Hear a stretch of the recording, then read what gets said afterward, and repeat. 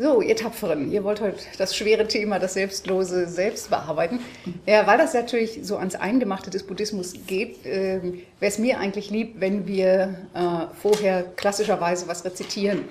Und klassischerweise eben das, was auch zur Zeit gehört, nämlich das sogenannte Gebet der sieben Zweige. Ähm, oder Gebet in sieben Portionen oder sieben Abteilungen, wie immer man das übersetzen will. Ähm, ja, wir rezitieren das einfach mal auf die, die eine Seite da runter. Auf Deutsch. Auf Deutsch, ja, ja. Zu Buddha, zum Dharma und zur höchsten Gemeinschaft nehme ich Zuflucht bis zur Erleuchtung. Möge ich durch die Verdienste aus Geben den anderen Tugenden und aus Einsicht zum Nutzen aller Lebewesen Erleuchtung erlangen. Zu Buddha, zum Dharma und zur höchsten Gemeinschaft nehme ich Zuflucht bis zur Erleuchtung möge ich durch die Verdienste aus Geben, den anderen Tugenden und aus Einsicht zum Nutzen aller Lebewesen Erleuchtung erlangen. Zu Buddha, zum Dharma und zur höchsten Gemeinschaft nehme ich Zuflucht bis zur Erleuchtung. Möge ich durch die Verdienste aus Geben, den anderen Tugenden und aus Einsicht zum Nutzen aller Lebewesen Erleuchtung erlangen. Namo Guru Bhyah, Namo Buddhaya, Namo Dharmaya, Namo Sangaya. Namo Gurubhya, Namo Buddhaya, Namo Dhammaya, Namo Sangaya. Namo Gurubhya, Namo Buddhaya, Namo Dharmaya, Namo Sangaya. Alle Buddhas der drei Zeiten, den Dharma und die höchste Gemeinschaft verehre ich und mit Körpern so zahlreich wie die Atome des Alls verneige ich mich vor euch. So wie Manjushri und all die anderen Bodhisattvas den Siegern Gaben darbrachten, so will auch ich den Tathagatas, den Beschützern und ihren geistigen Erben Gaben darbringen. Seit anfangsloser Zeit habe ich im Daseinskreislauf in diesen wie in anderen Leben aus Verblendung falsch gehandelt und andere zu solchem Handeln angestiftet. Überwältigt von Verwirrung und Irrtum habe ich genossen, was ich Schlechtes tat. Diese Fehler einsehend will ich sie vor euch, Beschützern, aus der Tiefe meines Herzens bekennen an dem Ozean des Glücks, der aus dem Erleuchtungsgeist entsteht und Heil für die fühlenden Wesen bewirkt, und an allen Taten, die ihnen Nutzen bringen, erfreue ich mich zutiefst. Mit gefalteten Händen bitte ich die Buddhas in allen Himmelsrichtungen, für die Wesen in Dunkelheit und Leid das Licht des Dharma scheinen zu lassen. Mit gefalteten Händen bitte ich die Sieger, die beabsichtigen, ins Nirvana einzugehen uns nicht hier in Blindheit zurückzulassen, sondern für zahllose Zeitalter zu verweilen. Mögen durch die guten Potenziale, die ich hier durch all dieses Tun angesammelt habe, das gesamte Leid aller fühlenden Wesen bereinigt werden. Ja, das Thema heute Abend ist ja das selbstlose Selbst über das Ich-Verständnis im Buddhismus. Und ähm, bei allen buddhistischen Belehrungen ist es ja oft so, dass man sich ausschließlich äh, auf... Äh, das Nicht-Ich. Ja, naja, das Nicht-Ich, aber auch auf äh, eine buddhistische Sichtweise bezieht, die mh, oft sehr herausgerissen ist aus dem Hintergrund, aus dem sie eigentlich kommt. Also um das Buddhistische wirklich zu verstehen, äh, kann es nützen, wenn man weiß, welches Vokabular dahinter steckt, was ja äh, aus dem historischen Hintergrund des Buddhismus, aus der Situation in Indien und den damals vorherrschenden philosophischen Schulrichtungen und Meinungen äh, der anderen Denkrichtungen Indiens, äh, wie die benutzt worden und verstanden worden sind. Weil man oft äh, Übersetzungen hat, die sehr an christliches Vokabular angelehnt sind oder die eben auch an unser philosophisches Vokabular angelehnt sind. Und es ist manchmal ganz wichtig, sich einzufühlen darin, wie das eigentlich damals verstanden worden ist. Nur ist das gar nicht so einfach. Ähm, also wie kann man rekonstruieren, was es damals überhaupt so an Denkmeinungen gab. Denn das Textmaterial, was wir haben, ist älter und man kann nur Rückschlüsse ziehen aufgrund der Sprache, äh, was wann, wie, wo schon vorhanden gewesen sein muss. Und der Buddhismus hat sich ja auch über einen langen Zeitraum hin entwickelt. Und da so die ältesten Textschichten rauszufiltern, ist alles gar nicht so einfach. Für uns ist natürlich wichtig als praktizierende Buddhisten, äh, was bringt uns das Ganze? Also was, äh, was an Erkenntnisgewinn nehmen wir daraus mit? Und ähm, jeder Buddhist, der sich um philosophische Erkenntnis bemüht, muss natürlich erstmal was wissen und muss darüber dann meditieren, das mit seiner eigenen Erfahrung verbinden. Und wenn es um das schwierige Thema Ich geht, wie soll man sich schulen? Wie soll man sich verändern? Welche Ausgangsposition haben wir eigentlich überhaupt? Äh, was ist dieses Ich? Wie nehme ich es wahr? Das sind ja alles so diese äh, Arbeitsfelder, mit denen man sich herumschlagen muss und ähm, die ja dann auch die Sichtweise auf das Ich verändern sollen. Ich dachte, ich fange heute Abend mal ein bisschen an, dass ich äh, etwas zu dem geistigen Hintergrund sage, aus dem heraus der Buddhismus mh, seine Ideen als Kontraposition entwickelt hat. Also was unterscheidet denn den Buddhismus von den vorherrschenden Ideen, obwohl er sich ein ganz ähnliches Vokabular aneignet? Also er benutzt das Vokabular, was vorhanden ist, äh, interpretiert das aber ganz anders. Und wie das aussieht, das habe ich anhand von ein paar kleinen Beispielen mal, wo es um das Eingemachte des Buddhismus, aber auch eben äh, den Hintergrund geht, zusammengestellt. Fangen wir mal an. Ähm, was war der geistige Hintergrund? Also in Indien haben sich so zwei Schichten übereinander geschoben, könnte man sagen. Und zwar einmal hatten wir die arischen Einwanderer, also seltsame äh, Volksgruppen, die sich in zwei Teile, der eine Teil ist nach Europa gewandert und der andere Teil ist über Indien, in Indien hängen geblieben, weil Indien ein Subkontinent ist, da geht es dann irgendwann nicht mehr weiter, da geht es ans Meer und dann ist Schluss. Und äh, ein paar sind auch noch weiter gewandert, aber äh, Großteil ist eben da hängen geblieben und hat erstmal die vorhandene Bevölkerung unterjocht. Ähm, die vorhandene Bevölkerung waren aber keineswegs primitive Animisten, so wie das früher immer dargestellt worden ist, sondern wie man ja anhand der Funde von Mohenjo-Daro und Harappa weiß, äh, einfach viel Indienspezifisches. Leute, die in Brezelbeinhaltung, in Meditationshaltung sitzen und so weiter, das finden wir alles da schon auf diesen Siegeln. Die hatten auch sowas wie eine Schriftlichkeit. Äh, wir können das nicht lesen, die Symbole sind, geben uns Rätsel auf, noch hat das keiner entziffert, aber irgend sowas ist schon da, was ganz erstaunlich ist, weil ansonsten, seit wann gibt es Schrift in Indien? Seit ungefähr 200 vor Christus, also nicht früher. Das heißt, äh, zu Buddhas Zeiten gab es keine Schrift. Das heißt, nichts von dem, was der Buddha gesagt hat, wurde aufgeschrieben, es wurde alles mündlich tradiert. Wie ist Schrift entstanden?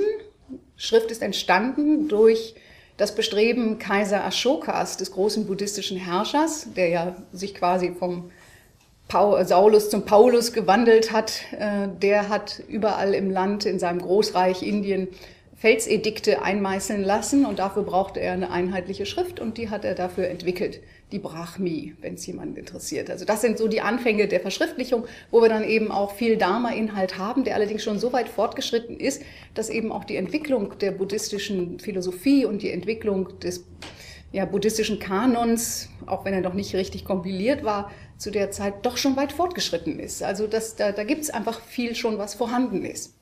Und als dann die Schrift da war, äh, hat sich das offensichtlich auch sehr schnell ähm, so entwickelt, dass diese Texte auch schriftlich fixiert worden sind. Das geht dann auch sehr rasch, dass die dann wirklich in großer Breite da sind. Also Manuskripte haben wir ja, die sind alle meistens nicht so alt, die so in den letzten 50 Jahren gefunden worden sind, die waren eben alle nicht so alt. Da hat man immer schön geglaubt, dass der Pali-Kanon, also der, der, das Schrifttum der, der südlichen Überlieferung, wie man es so schön nennt, dass das das älteste ist. Die Theravadins haben das auch immer äh, prägnant behauptet. Das lässt sich aber so nicht aufrechterhalten. Äh, gerade jetzt äh, müssen wir ständig das Ganze umschreiben, das ganze Geschichtsverständnis, weil es werden immer wieder Schriften in Afghanistan und Pakistan, wo das Klima einfach viel günstiger ist, um solche Schriften zu erhalten. In Indien fault alles weg jeder Monsun rafft einfach viele Schriften dahin. Das ist einfach ein fürchterliches Klima für alles, was organisches Material ist. Während in diesem wüstenhaften, ariden Klima von Afghanistan, da erhalten sich Texte, die man irgendwann mal verbuddelt hat, weil sie für den Gebrauch nicht mehr so geeignet waren. Also Texte hat man nicht irgendwie zerstört, sondern man hat sie rituell beerdigt. Man hat sie in einen Topf getan und dann irgendwo beigegeben. Oft hat man sie auch Reliquien beigegeben. Texte selber gelten ja als heilig und als Reliquie. Die macht man nicht einfach kaputt, sondern äh, man buddelt die ein. Und ähm, hm? Wolltest du was fragen? Ja, aber ja.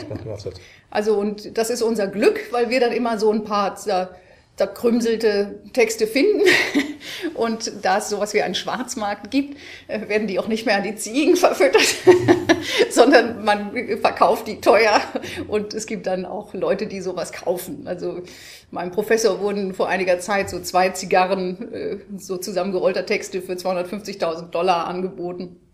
Stolzer Preis, so mal eben für den Markt. Aber okay. Was waren das für Texte? Hm? Was waren das für Texte? Konnte er so schnell jetzt auch nicht sagen. Sie wurden ihm angeboten und bei dem Preis musste er das deutsche Professorengehalt gab es dann doch nicht. Aber es gibt Käufer für sowas. Also reiche Japaner und so weiter, die sind sehr engagiert, was den Kauf solcher Texte anbelangt. Es müssen aber nicht mal unbedingt immer buddhistische Texte sein, die da gefunden werden. Es wird auch viel so Beamtenzeugs gefunden, also so ähm, Rechenschaftsberichte von irgendwelchen Katasterämtern und so weiter und so fort. Das ist auch nicht ganz so.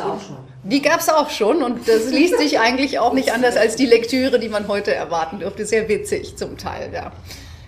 Du hattest eine Frage? Ja, ähm, gibt es da auch die Kultur der Bibliothek? Schon? Oder ähm, also sie wurden vergraben? Ja, ja, ja, ja, ja, ja, ja. Die Klöster hatten sowas wie Bibliotheken. Also die hatten offensichtlich, war das auch weit verbreitet, also äh, Schreiben. Das ist eigentlich das, was uns erstaunt. Also es gibt auch ganz nette äh, Sachen, wie man das Alphabet lernt zum Beispiel. Also die beiden ältesten Schriften, Brahmi und Kharoshti. Also Kharoshti ist das, was man im Raum Gandhara, also Pakistan, Afghanistan benutzt hat.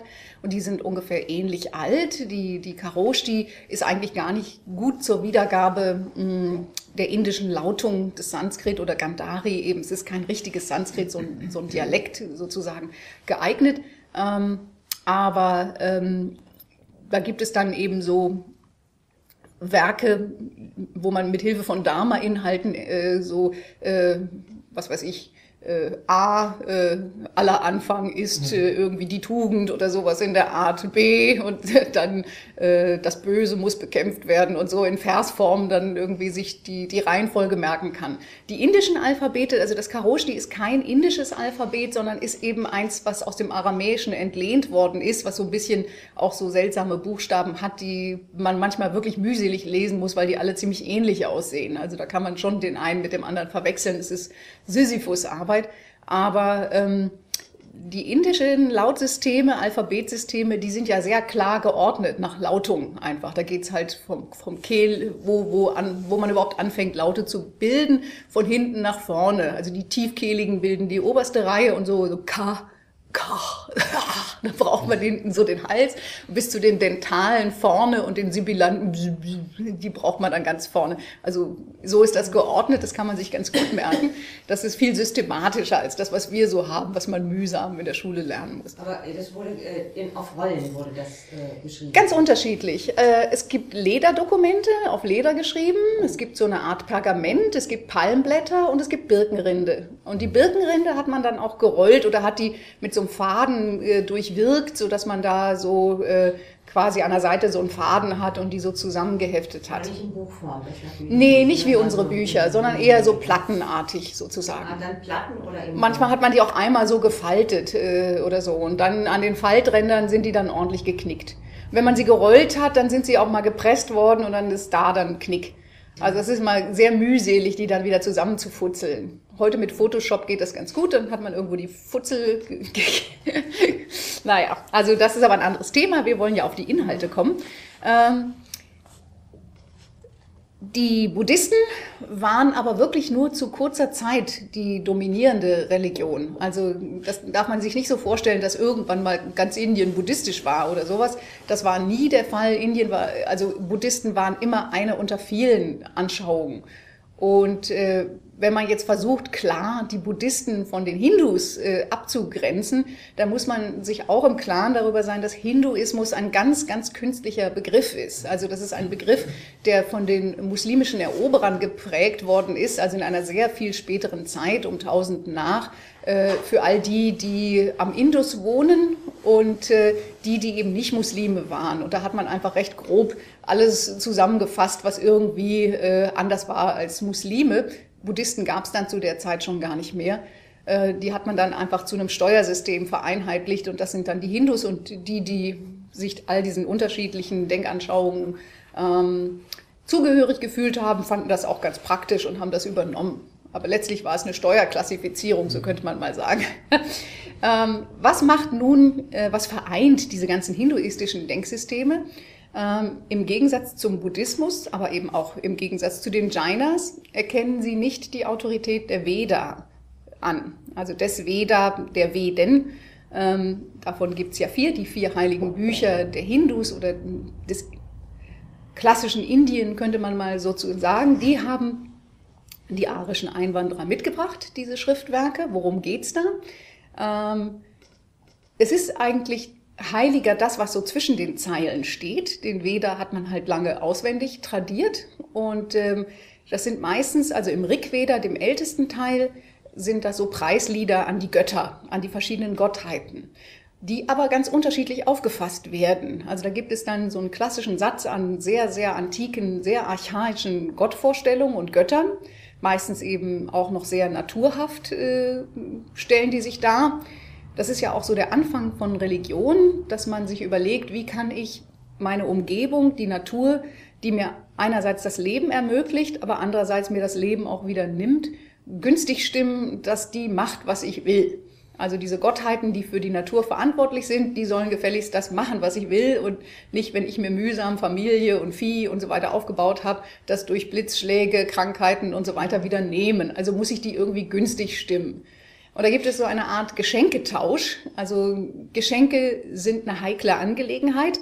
Wenn ich jemandem Gleichwertigen was schenke, dann ist der durch mein Geschenk so gut wie beschmutzt. Das heißt, der muss sich revanchieren mit diesem Geschenk. Am besten übertrifft er mich noch, um sich von dieser Beschmutzung, dieser Belastung, dieses, dieser Unbalance äh, wieder, das muss ausgeglichen werden. Ganz anders ist es aber, wenn ich jemanden beschenke, der weit über mir steht, sprich ein Gott, dann ist es von dem eine große Gnade, von mir Wurm überhaupt so ein Geschenk anzunehmen. Und wenn er das tut, dann kann ich aber sowas von super Gegengabe erwarten, weil es ist ja ganz klar, der muss natürlich nach seinem Vermögen austeilen. Also selbst wenn ich nur ein Äpfelchen schenke und er nimmt das an, dann kann ich aber bäumeweise goldene Äpfel zurückerwarten, so ungefähr. Also das ist die Logik hinter diesen Preisliedern und hinter diesen ganzen Opferritualen. Und es gibt dann eben nach dem Rigveda mit seinen sehr interessanten, auch schon erste philosophische Spekulationen äh, so beinhaltende ähm, Lieder, die da drin sind, sehr heterogen, gibt es dann eben Ausbildungen, die sich auf das Kastensystem beziehen, wobei man dann eben sagen muss, dass natürlich die arischen Einwanderer für sich die drei oberen Kasten beansprucht haben, also die Brahmanenkaste, die Priesterkaste, die eigentlich nur dazu da ist, diese Opferungen an die Götter zu vollziehen und beschenkt zu werden. Die bilden sozusagen so eine Art Verdienstfeld. Und ähm, dann daneben eben die Kriegerkaste, die Kshatriyas, die müssen nicht so extrem rituell rein sein. Und dann die Vaishyas, die Händler, die sind für, die sind sozusagen für den Bauch des Staatsorganismus zuständig. Die müssen sehen, dass eben der Rubel rollt und dass das Ganze mit Wohlstand ausgestattet ist und so weiter und so fort. Also das sind so die drei Stützen, das sind die drei wichtigsten Kasten. Nur die haben das Recht, diese heiligen Werke, den Veda überhaupt zu studieren. Und die anderen, das sind dann die, die quasi die Dienstleistungen verrichten müssen, die niedrigeren, die Shudras. Und noch schlimmer als die Shudras sind dann eben die dran, äh, die Unberührbaren und so weiter. Das sind natürlich dann auch meistens die, die man erobert hat, die erobert wurden sozusagen, ähm, die ähm, jetzt wirklich ein bisschen, äh, naja, die sind eigentlich außerhalb des Hindu-Systems stehend und werden auch dementsprechend abqualifiziert. Und trotzdem ist es nicht ganz so mh, mm, stringent. Religiös ist es so, dass auch ein Shudra oder ein Unberührbarer Erleuchtung erlangen könnte. Also das, was man, als was man geboren ist, das hat karmische Ursachen. Die Idee von Karma findet man aber noch nicht in den Veden, erstaunlicherweise, sondern die findet man erst später in den Upanishaden. Also diese Idee, dass Taten tatsächlich über den Tod hinaus eine Rolle spielen, dass äh, die sogar äh, dafür sorgen, dass man äh, in bestimmten Umständen günstig oder ungünstig wiedergeboren wird. Also die Idee auch von Dharma als kosmisches Gesetz, als kosmisches Gesetzesräderwerk, dem sogar die Götter unterworfen sind, wo die auch nicht gegen ankönnen. Äh, diese ganzen Ideen bilden sich erst so im Nachklang aus. Und warum? Eigentlich auch, weil ähm, dieses etwas willkürliche ähm, Erstarken der Brahmanenkaste, die natürlich ihre Position sehr stark ausgenutzt haben, ähm, ziemliche Blüten getrieben hat, unangenehme Blüten getrieben hat. Also es war dann eben so, dass nicht mehr die Götter der eigentliche ähm, Adressat waren, sondern die Brahmanen waren dann in der Lage, wenn sie die Rituale richtig vollzogen, die Götter zu manipulieren. Also die Götter konnten gar nichts machen. Wenn die Brahmanen richtig die Rituale äh, vollziehen, dann müssen die Götter wie Püppchen an den Strippen äh, funktionieren. Und das widersprach einfach dem gesunden Menschenverstand.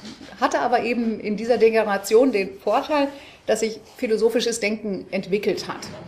Und das philosophische Denken hat sich dann eben sehr mannigfaltig entwickelt, eben einerseits mit diesen Upanishaden, die aber die Veden nicht leugnen, also sondern die, die stehen auf dem Boden der Veden, aber äh, bilden daraus neue Denkansätze. Upanishad heißt äh, niedersetzen und zusammen denken, grübeln und äh, lernen vom Guru, beim Guru sitzen, all diese Dinge. Und die sind auch sehr, sehr, sehr, sehr heterogen. Also ähm, da gibt es sehr, sehr unterschiedliche und man kann die auch zeitlich schwer einordnen. Das macht man dann durch Sprachanalyse. Es gibt welche mit sehr archaischer Sprache und neuere, die dann erst in nachchristlicher Zeit sind, die dann anderes Sanskrit benutzen mit anderen Vokabeln und so weiter und so fort. Aber äh, man merkt halt, wie sie doch aufeinander aufbauen. Und je mehr sich dann auch die anderen Denkrichtungen entwickeln, der Jainismus und der Buddhismus, davon bleiben die nicht unbeeinflusst.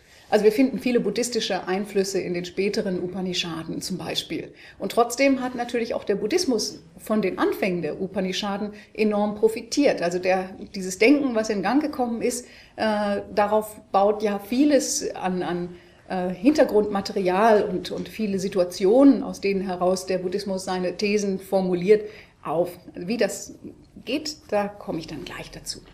Ähm, ähm, die Jainas sind auch ein atheistisches äh, System, also die ähm, haben eher so eine Art Monadenlehre, also dass man sich reinigen muss, reinigen, reinigen muss. Man ist so eine Art äh, Wesen, das in diesem leidhaften Daseinskreislauf ist aufgrund von negativen Handlungen und Verkettung mit Negativen und Verbindung mit Negativen und von dem muss man sich bereinigen. Also das sind diejenigen, die äh, weiß gekleidet, äh, herumlaufen oder aber mit gar nichts an. Das sind dann die Wind- oder Luftgekleideten. Und äh, ja, die leben sehr, sehr streng. Die haben oft so Masken auf, damit sie keine Insekten und verschlucken Besen. und Besen und vor sich hin. Genau. Also, damit sie nur so drauf treten. Genau. Ja, ja, also das nehmen die sehr, sehr ernst und sehr, sehr streng. Und ja, also das ist ist wirklich so eine Art Reinigungslehre, so könnte man sagen, ist natürlich noch etwas komplexer und komplizierter. Ähm, die sind zur gleichen Zeit wie der Buddhismus entstanden, also die sind wirklich zeitgleich. Und ähm, trotzdem ist es ja für uns interessant, hm, wie sehen denn die Anfänge aus? Und wir merken natürlich, dass die arischen Einwanderer, die meistens so einen sehr patriarchalen Götterkult hatten, also männliche Götter, die Helden waren mit Donnerkeil und so weiter und so fort, ja, äh, dass die natürlich auch schon in Indien herrschende Ideen, die ganz anders geartet waren, getroffen sind. Also wo man eher, und das spielt dann später im Tantra auch eine große Rolle, ähm, davon ausging, dass es eben im Menschen ein eine große Vielfalt an Instinkten, an Kräften, an, an vitalen, äh, wie soll man sagen, äh, unbewussten energetischen Abläufen gibt, die das, was der Mensch ist, bestimmt. Und ähm, weil die ja eben schon diese lange introspektive Kultur äh, hatten, blieb davon auch diese Entwicklung der Arier nicht unbeeinflusst. Also auch das wirkt natürlich in die Upanishaden rein und deren Denken ist sehr tief, viel tiefer, als man das so auf den ersten Leseblick äh, anwendet.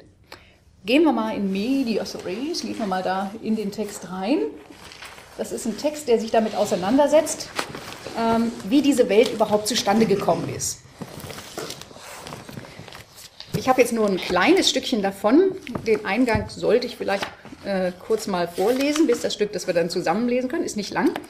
Also, es geht darum, was waren am Anfang. Ne? Das ist jetzt nicht buddhistisch, sondern das ist so ein ganz archaischer Text der Upanishaden, wo man sich fragt, wie denn überhaupt Leben in die Welt gekommen ist. So eine Art Schöpfungsmythos, könnte man mal sagen. Und das ist ganz interessant. Es geht jetzt nicht so sehr um die äußere Welt, sondern es geht um die Welt des Bewusstseins. Also wie hat Bewusstsein überhaupt angefangen, dass man über sich nachdenken kann und so weiter und so fort. Also Cogito ergo sum. Ja, da so ungefähr. Etwas früher. Ja, ja, ja. Also das ist jetzt die Aitareya Upanishad und die ist wirklich sehr, sehr alt. Ähm, lange, also bestimmt so 600, 800 vor Christus, muss man sagen. Ne? Ähm, also, zu Anfang war diese Welt allein Atman. Atman ist schwer zu übersetzen, ist sowas wie das Selbst, das Ich.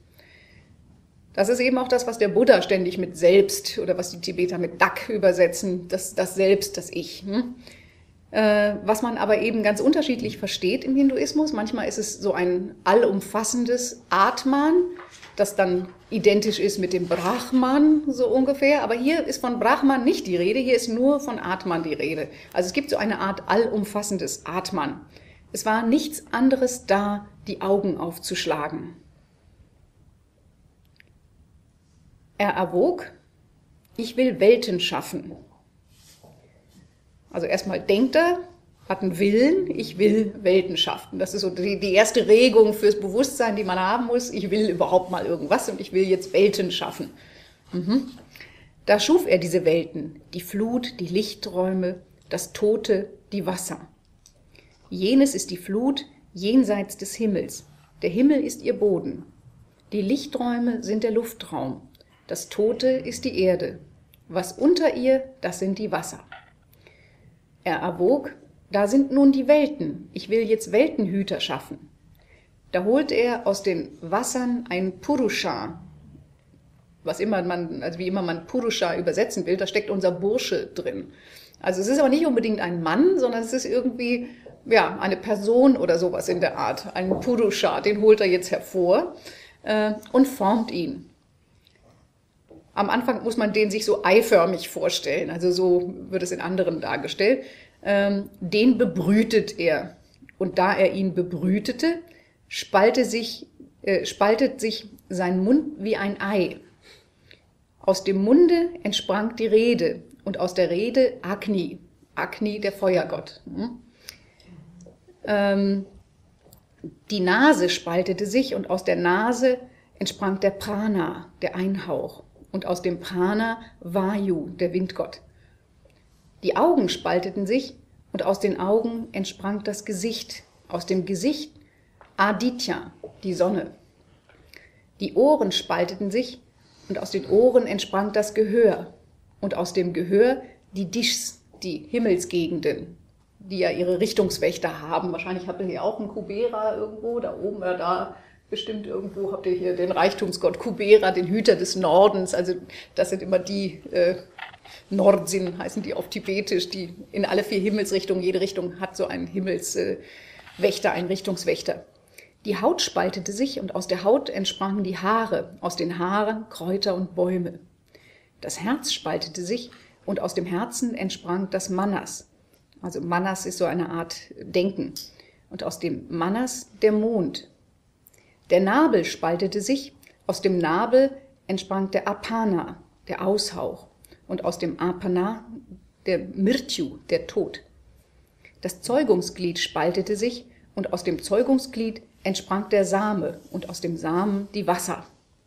Also wir haben jetzt die ganzen Götter sind hier quasi äh, äh, im Raum aus diesem komischen eiförmigen, wo sich von innen was nach außen stülpt. Also die Augen stülpen sich nach außen, der Mund stülpt sich nach außen und wir haben auch diese Sonne und Mond. Also Sonne waren ja hier die Augen, das Gesicht, Aditya und äh, im Herzen das Denken, also hier im Herzchakra, das ist gemeint. Äh, Manas, das, also Mond. Und wenn ihr auf die Tankas hier guckt, ihr werdet immer auf jedem Tanker Sonne und Mond als Symbol finden, die eben mit diesen Chakren zu tun haben, also die da eine Rolle spielen, das Herzchakra und eben eigentlich hier dieses Chakra, aber äh, man meint eben diese Fähigkeit überhaupt der Wahrnehmung. die dann für Tantra ja auch eine ganz, ganz wichtige Rolle spielen. Also das ist hier alles im Ansatz schon da. Man fühlt sich ein, was bin ich eigentlich? Wenn ich meinen Geist betrachte, ich habe Gesicht und mein, mein, also Gesicht jetzt das Sehvermögen und das macht mich hell. Also das macht ja meinen Geist hell. Wenn man die Augen schließt, ist kein Licht da. Also das ist etwas, was man ja deutlich spürt. Inneres Licht kann sein. Ja, aber das, wenn du, ja, aber nehmen es mal erstmal wahr. also jetzt erstmal für das reine Empfinden hat man das alles nicht. Und äh, der Atem ist ja wirklich das, was der Wind außen ist, ist ja dieser Wind, der durch einen durchgeht. Also das ist, es ist tiefer, als man das so denkt. Es ist nicht einfach nur oberflächlich. Man darf das nicht nur so als äh, Gequassel über sich ergehen lassen, sondern man muss versuchen, dem nachzuspüren, was die Leute hier meinen. Ähm, das nächste Textstück, das könnt ihr mitlesen, das habe ich euch hier äh, abgeschrieben. Diese Gottheiten, nachdem er sie geschaffen, stürzten in diesen großen Ozean herab. Und den gab er dem Hunger und dem Durst preis. Also der große Ozean ist immer ein Ausdruck für das allgemeine Bewusstsein, also das, was man überhaupt geistig, geistige Sphäre nennt, also alles, was mit Geist zu tun hat. Das ist ein großer Ozean und in den purzeln jetzt diese Gottheiten, also dieses Sinne, diese Sinnesvermögen, die purzeln jetzt mit diesem Bewusstsein zusammen und schwammeln da herum in diesem Bewusstsein. und ähm, dieser Ozean ist dazu verurteilt, dass da Hunger und Durst sind. Also das ist zum Beispiel auch eine interessante Aussage, die hier getätigt wird. Nichts anderes wird der Buddha später sagen. Ähm, und da sprachen Hunger und äh, na, da sprachen die Götter zu ihm, also zu dem Atman er sieh uns einen Standort, in dem wir feststehen und Speise essen mögen.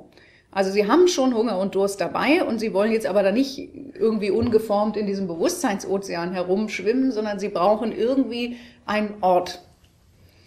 Da führte er ihnen eine Kuh vor, die aber sprachen, diese genügt uns nicht.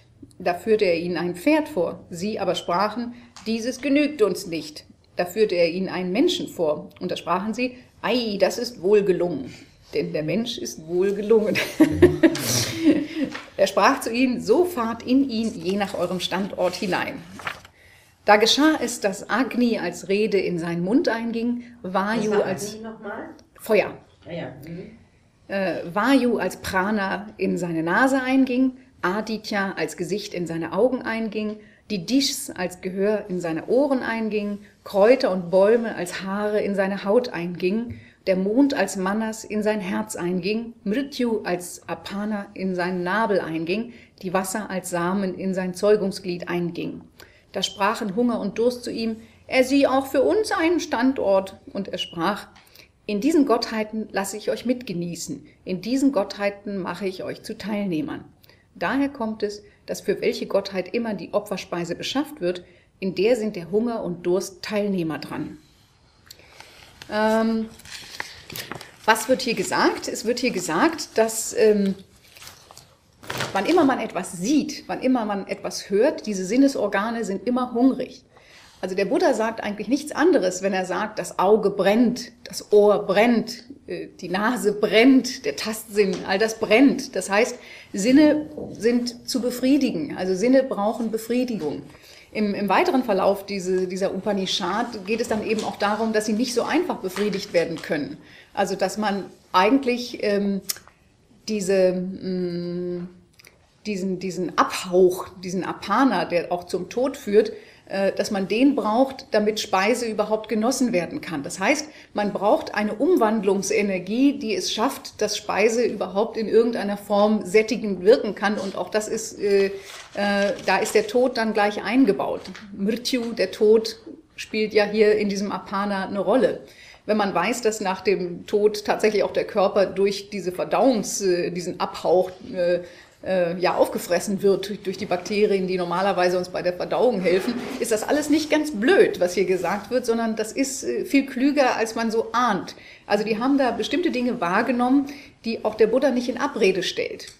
Es ist nun so, dass das Natürlich kann man das irgendwie, die einen Hindus verstehen das wirklich als Gottheiten, also wirklich als irgendwelche Wesen, die existieren und uns bestimmen. Die anderen sagen eben, das sind einfach Naturkräfte. Äh, egal, sie alle stehen auf dem Boden des Veda und deshalb sind sie alle Hindus. Sie können, also es gibt ja sehr unterschiedliche Richtungen bei den Hindus.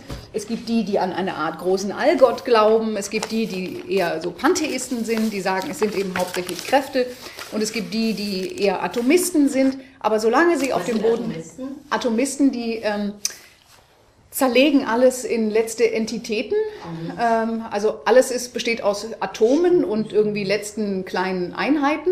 Auch ja. das Denken, also auch alles Geistige besteht eigentlich aus so Denksubstanz oder sowas in der Art. Da steckt so eine Art Denksubstanz dahinter. Mhm. Und ähm, also es gibt da die unterschiedlichsten Lehren und auch äh, Yoga zum Beispiel, was der Buddhismus ja auch sehr stark benutzt, ist eine Meditationslehre, die aber in sich eigentlich auch auf dem Boden des Veda steht. Ähm, die alle haben Stifter, aber die Veden sind eben Shruti, die sind gehört. Und das bedeutet, ähm, dass sie eigentlich nicht menschlichen Ursprungs sind, sondern sie werden entweder von dem großen Allgott eingehaucht oder aber sie sind eben von denjenigen, die Erleuchtung erlangt haben, wieder erinnert worden, als sie dann als Götter wieder erschienen sind und werden dann sozusagen neu erzählt, weil die sich daran erinnert haben. Also so perpetuiert sich dieses Wissen und da gibt es ganz unterschiedliche Vorstellungen. Aber da sie alle grundsätzlich diese Oberhoheit anerkennen, äh, zählen sie zu diesem großen, weiten System des Hinduismus, das sich natürlich dann noch in viele Unterschulen gegliedert hat. Und deshalb ist der Hinduismus so wahnsinnig tolerant. Aber man kann eigentlich kein Hindu werden. Man kann nur in dieses System reingeboren werden. Heutzutage gibt es zwar so Reinigungs- und Assimilierungsrituale, aber das ist eigentlich nicht vorgesehen. Und aber man kann heiraten. Also wenn man ja, aber dann ist man trotzdem eigentlich streng genommen kein Hindu. Also man kann dann, das macht man, aber äh, es gibt viele orthodoxe Hindu-Schulen, die das nicht anerkennen. Also wenn einer irgendwie, da gab es viele Vorkommnisse, dass irgendwelche Rajas europäische Frauen geehelicht haben und so weiter. Und dann wurden die mit so äh, Shraddha-Ritualen irgendwie feierlich in die Hindu-Gemeinde aufgenommen, aber die Orthodoxen lehnen das ab. Also entweder man ist da reingeboren oder man hat so mieses Karma, dass man da nicht reingeboren ist, so ungefähr. Das ich dachte, es nur, nur im Judentum. Wo man nee, nee, nee, nee, nee, nee. Ja, ja, genau. Und das ist, ist bei denen eigentlich auch so. Ne? Ähm, als zweitgeborene Generation. Die, also wenn, ähm, wenn, also wenn. Naja, wenn die einen Vater ja, haben und der, also ich denke im, im Gelebten, es gibt ja immer den theoretischen und den praktizierten Hinduismus, ähm, denen kann es im Zweifelsfall passieren, dass sie natürlich irgendwie äh, negativ äh, angefeindet werden. Sowas ist durchaus möglich. Also das, der Halbjude damals mit den Nazis. Zumal man muss sagen, ähm, Warum ist das problematisch? Man könnte ja sagen, aus mir doch egal, ob ich jetzt Hindu bin oder nicht. Mhm. Ähm, aber äh, bei, bei den ganz orthodoxen Brahmanen ist es natürlich so, wenn schon ein Schatten von so jemandem auf dich fällt äh, oder auf deinen Schatten fällt, so ungefähr, dann bist du rituell beschmutzt und dann musst du tausend mühsame Dinge an Opferritualen machen, um dich von dieser Beschmutzung wieder zu freien. Also rituelle Reinheit kann man da bis zum Exzess treiben. Ne? Wie, wann, wann ist man beschmutzt? Wenn, wenn also wenn schon der Schatten eines Unberührbaren auf den Schatten eines Brahmanen fällt und äh, man zählt automatisch äh, zu den allerniedrigsten äh, Kasten, wenn man überhaupt nicht da, also man, man zählt zu gar keiner Kaste, man ist völlig raus und damit ist man rituell unrein. Äh, also wir ganzen Europäer sind rituell unrein. Wir sind, wir sind, wir gehören gar nicht zu den Kasten, sondern wir, wir sind rituell unrein. Wir sind rituell vollkommen unrein und mit also das ist sehr ermüdend. ja, und das hat man schon damals nicht so wirklich äh, äh also da gab es eben viele, die sich darüber lustig gemacht haben. Und da, da mit diesem Denken räumen ja auch die Upanishaden aus. Die, die, die fangen ja an, wirklich frei zu denken und äh, da ganz anders zu denken. Das, die späteren Nein, auch diese hier äh, macht das schon, indem sie sich überhaupt mal Gedanken macht. Also die Gedanken sind in Indien grundsätzlich frei. Und auch wenn die nebeneinander gesessen haben, die haben sich nicht bekriegt. Also nur weil, weil einer eine andere Denkmeinung hatte oder sowas in der Art. Ähm, die Unterschiede jetzt ähm, bei den Buddhisten waren natürlich, die haben für Zündstoff gesorgt, weil sie a. den Veda nicht anerkennen, b. weil sie Kasten auch nicht anerkennen. Also das empfanden die als vollkommener Schwachsinn. Also äh, ähm, das ist einfach viel komplexer und sie haben ja natürlich ein ganz anderes Verständnis von dem, was das Selbst ist. Äh, die grundsätzlichen Fragen aber, was gehört denn zu mir, zu diesem Ich? Die bleiben ja. Und wie beantwortet der Buddhismus die? Ähm, Am archaischsten ist das dargelegt in den vier edlen Wahrheiten. Und da gibt es ja unterschiedliche Textfragmente und ich habe jetzt mal eins, äh, das eins der ältesten, was existiert, ich heute in mühevoller Kleinarbeit übersetzt. Deshalb ist es auch noch etwas grob. Das kann man sicherlich auch noch ein bisschen schöner machen. Ähm, die Situation ist die folgende. Der Erhabene hat Erleuchtung erlangt und Brahma und Indra, die höchsten Götter des Hindu-Pantheons, sozusagen, die haben ihn jetzt gebeten, seine Weisheit zu lehren. Und ähm, der Buddha überlegt, wem kann ich diese schwierige, komplexe Wahrheit lehren? Wer ist überhaupt in der Lage, die aufzunehmen? Und in seinem geistigen Angesicht überlegt er, ob seine beiden alten Lehrer in Frage kämen. Und die sind aber schon gestorben. Und äh, in der jetzigen Lebensform, in der sie existieren, im Götterbereich, sind sie so nicht äh, erreichbar für ihn. Und ähm, da kommen ihm seine fünf Gefährten in den Sinn, die ihm im Asketenhain schmählich äh, verlassen haben und gesagt haben, mit dir, der du die Askese aufgibst, wollen wir nichts mehr zu tun haben. Und zu denen ist er jetzt hingegangen und nachdem sie doch mitgekriegt haben, dass er nicht mehr der einfach nur der Versager und Loser ist, sondern dass mit ihm doch was geschehen ist, äh, sind sie auch bereit, ihm nachzufolgen. Und ähm, die sind jetzt die ersten, die in diesem Rishi Patana, in diesem Asketen bald bei Sanat ähm, die erste Predigt zu hören bekommen. Und in diesem Sutra, dem Chatush Parishat Sutra, also ein Sutra in vier Abteilungen, da gibt es eben dieses super berühmte, es ist also das Hauptstück, das muss jeder Buddhist wissen und kennen, sonst kann er nicht sagen, dass er Buddhist ist. Ähm, das ist das Dharma Chakra Pravartana Sutra. Das ist so der wichtigste Teil davon, die Drehung des Rades. Also das ist wirklich, was jeder Buddhist wissen muss. Das muss er gelesen haben und das muss er verinnerlichen. Das ist ganz wichtig. Das ist sozusagen die absolute Basis. Und das Dharma ist auch extra Chakra Pravartana. Pravartana. Mhm. Pravatana, Drehung des Rades sozusagen, das Ingangsetzen des Dharma-Rades. Dharma, Chakra, Dharma-Rad, Pravatana in Gang setzen sozusagen. Ja. Ne? Ähm, und das kommt da gleich dreimal hintereinander, weil er, er, die Sache ist so, die Arbeitsteilung ist so, dass morgens drei der Mönche auf Bettelgang gehen und zwei bleiben da. Und äh, die kriegen das gelehrt und wenn dann die anderen wiederkommen, dann kriegen die das auch nochmal gelehrt, nachdem die eben den anderen das Essen mitgebracht haben. Und dann kommt nochmal ein Mönch äh, vorbei, der das auch hören muss, äh, nämlich der Ajnata Kaundinya. Und das ist die Stelle, wo dieser Mönch, Ajnata Kaundinya, einer der ganz wichtigen frühen Mönche, der kriegt das jetzt zum dritten Mal gelehrt. Das ist sozusagen, dass er äh, also wirklich zum Einbimsen ist das da drin. Aber diese, diese, diese Stelle besonders ist eine der schönsten, weil die sehr knapp ist und sehr, sehr viel Inhalt bietet. Ähm, gehen wir jetzt mal durch. Also, der Erhabene setzte zu Varanasi im Gazellenwand bei Rishipatana das Rad des Dharma mit drei Umdrehungen und zwölf Gliedern in Gang. Aber du glaubst nicht, dass man das lesen kann, ne? Du scheinst es zu lesen zu können. Ja.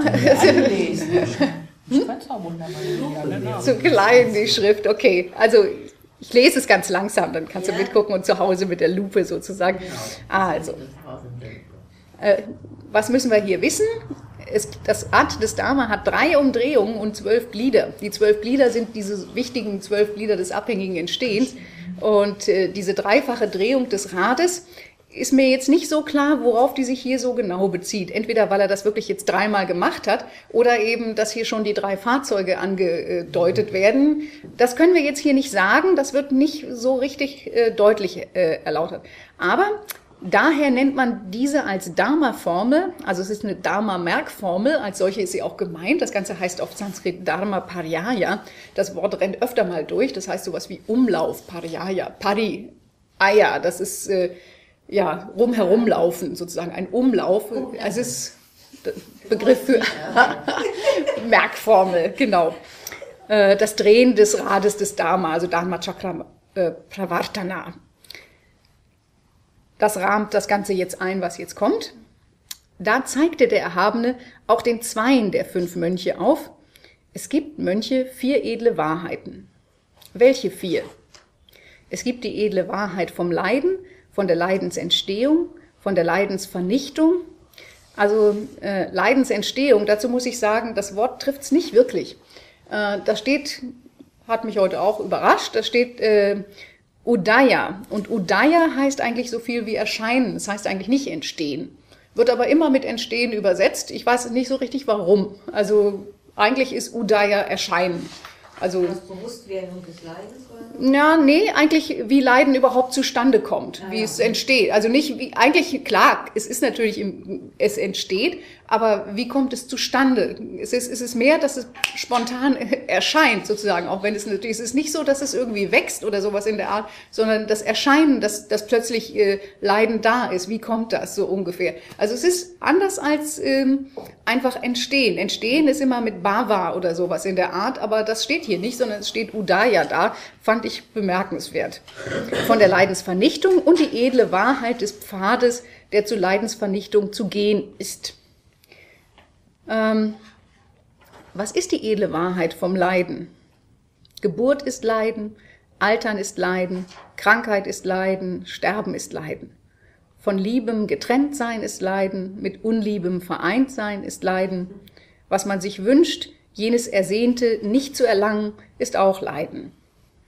Jener als Zusammenhäufung bestehende Fünfer Upadana Skanda Komplex, also Upadana heißt eigentlich so viel wie Aneignung, also dieser Fünfer Aneignungskomplex ist Leiden. Um das zu begreifen, muss der achtfältige Pfad verwirklicht werden. Das wird in dieser Weise wirklich nur in diesem Textstück so genannt. Also man kann nicht sofort begreifen, dass das hier stimmt, dass das echt eine Wahrheit ist, dass es hier um die Realität geht, sondern äh, damit man wirklich auch verifizieren kann, ja, das ist so, muss man den achtfältigen Pfad gehen. Also es ist, es heißt ja, dass die vier edlen Wahrheiten nur von einem Buddha vollkommen eingesehen werden können als Wahrheiten. Und das ist hier also ganz deutlich gesagt. Das kann man nicht gleich begreifen, sondern damit man wirklich mit Sicherheit sagen kann, dass das stimmt, muss der achtfältige Pfad verwirklicht werden.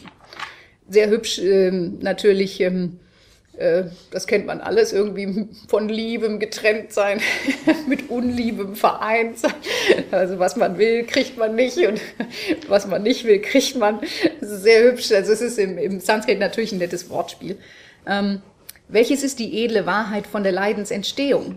Und da erinnern wir uns gleich wieder an das, was wir vorher gelesen haben. Jener Durst, der immerzu Dasein bewirkt, der mit Freude und Leidenschaft einhergeht, sich überall ergötzend. Der ist die Ursache. Also der ist ähm, die Leidensentstehung. Hm? Ähm, damit dieser verschwindet, muss der achtfältige Pfad verwirklicht werden. Welches ist die edle Wahrheit von der Leidensvernichtung? Eben was jenes Durstes, der immerzu Dasein bewirkt, mit Freude und Leidenschaft einhergeht, sich überall ergötzt, restloses Verschwinden, Aufgabe, zu Ende bringen, Verfall, Abkehr, Vernichtung, Befriedung, Aufhören ist. Dieses Aufhören am Ende heißt wortwörtlich nach Hause gehen. Also diesen Durst muss man dazu bringen, dass er endlich nach Hause geht. heißt dann aber im, um, also im weiteren Sinne eben aufhören. Ähm, um sich das vor Augen zu führen, muss der achtfältige Pfad verwirklicht werden. Also es steht wirklich wortwörtlich so, um sich das vor Augen zu führen. Also es ist wirklich sehr erstaunlich, wie, wie nah äh, das Sanskrit unserem Sprachgebrauch ist. Welches ist die edle Wahrheit des Pfades, der zur Leidensaufhebung zu gehen ist? Das ist der achtfältige Pfad, als da sind rechte Sicht, rechtes Überdenken, rechte Rede, rechtes Tun, rechter Lebensunterhalt, rechte Anstrengung, rechte Vergegenwärtigung, rechte Meditation. Dieser ist zu verwirklichen. Ähm, als äh, Adinata Kaundinya das hört, da passiert ihm Folgendes. Da entstand zu dieser Zeit beim Aussprechen der Dharma-Formel dem ehrwürdigen Adinata Kaundinya der samt der, Auslö also der samt der Ausflüsse befreite Geist. Das heißt, er ist ein Ahat. Ein Ahat ist einer, dessen Geist befreit ist und der keine Ausflüsse mehr hat. Ausflüsse, Ashravas. ist ein komisches Wort, ja. Also da haben auch viele drüber gerätselt, was das nun jetzt wirklich heißen soll. Es geht darum, dass der keinerlei karmische Ausflüsse mehr hat. Also positives Karma äh, kommt nicht mehr in irgendeiner Form, äh, bewirkt kein Werden mehr und auch äh, negatives Dharma bewirkt kein Werden, äh, Karma bewirkt kein Werden mehr. Das sind diese Ausflüsse. Also da, da fließt sich irgendwie aus Nase und Ohren irgendwas raus.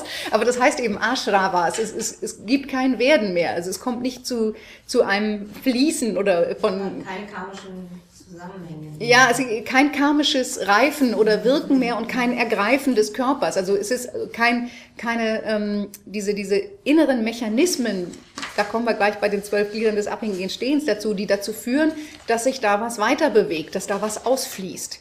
Also dass da was über die Form hinausgeht sozusagen und wieder ein Werden nach sich zieht. Ist eine interessante Formulierung, wo man dann auch immer, yeah, Ashravas, dieser Ashravas immer und so weiter und so fort. Ja. Die spielen aber im weiteren Buddhismus noch eine riesengroße Rolle, weil da gibt es viel Streit darüber, ob bei einem Ahat äh, es ja noch nächtlich zu einem Samenerguss kommt. Und da weiß man nicht, ob das nicht ein Übersetzungsfehler ist, äh, ob es nicht tatsächlich um diese karmischen Ausflüsse geht und nicht um irgendwelche anderen Ausflüsse. Also da gab es äh, viel, viel Diskussionsstoff später.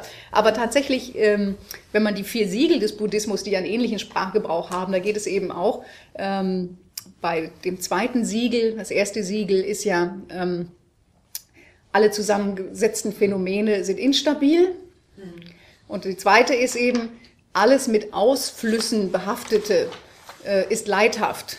Und das ist eben, äh, die fünf Skandhas sind mit Ausflüssen behaftet, weil sie eben ähm, karmisch sozusagen diesen Bildekräften und äh, den anderen äh, Gliedern unterworfen sind. Die wirken da alle ineinander und da kommt es noch ordentlich zu Ausflüssen. Und das ist das, was uns leiden macht. Also wenn wir verstehen wollen, warum es uns so geht, wie es uns geht, dann hat das damit zu tun, dass man verstehen muss, was bin ich denn? Und das erklärt der Buddha hier. Erstmal erklärt er, was Leiden ist und wie man das empfindet. Und im weiteren Verlauf jetzt erklärt er, ähm, wie man sich zu betrachten hat, um sich zu verstehen. Und da erklärt er diese Skandhas. Also der gute Adinata Kaundinya, der hat es jetzt schon geschafft, der hat das gehört, das hat ihm schon gereicht, der hatte so viel karmische Vorwegwirkung, so viel gutes Karma angesammelt, dass er jetzt gleich kapiert hat, ja, uh, und der ist gleich ein Ahat. Äh, bei den Mönchen, die fünf Mönche noch nicht, die, äh, bei denen öffnete sich über die Dharmas, also über diese Realitätsentitäten, äh, das fleckenreine, leidenschaftslose Dharma-Auge. Also die haben auch schon eine Einsicht, aber noch nicht Ahatschaft. Das ist der Unterschied. So gab es zu dieser Zeit auf der Welt zwei Ahats, den Erhabenen und den Zweiten.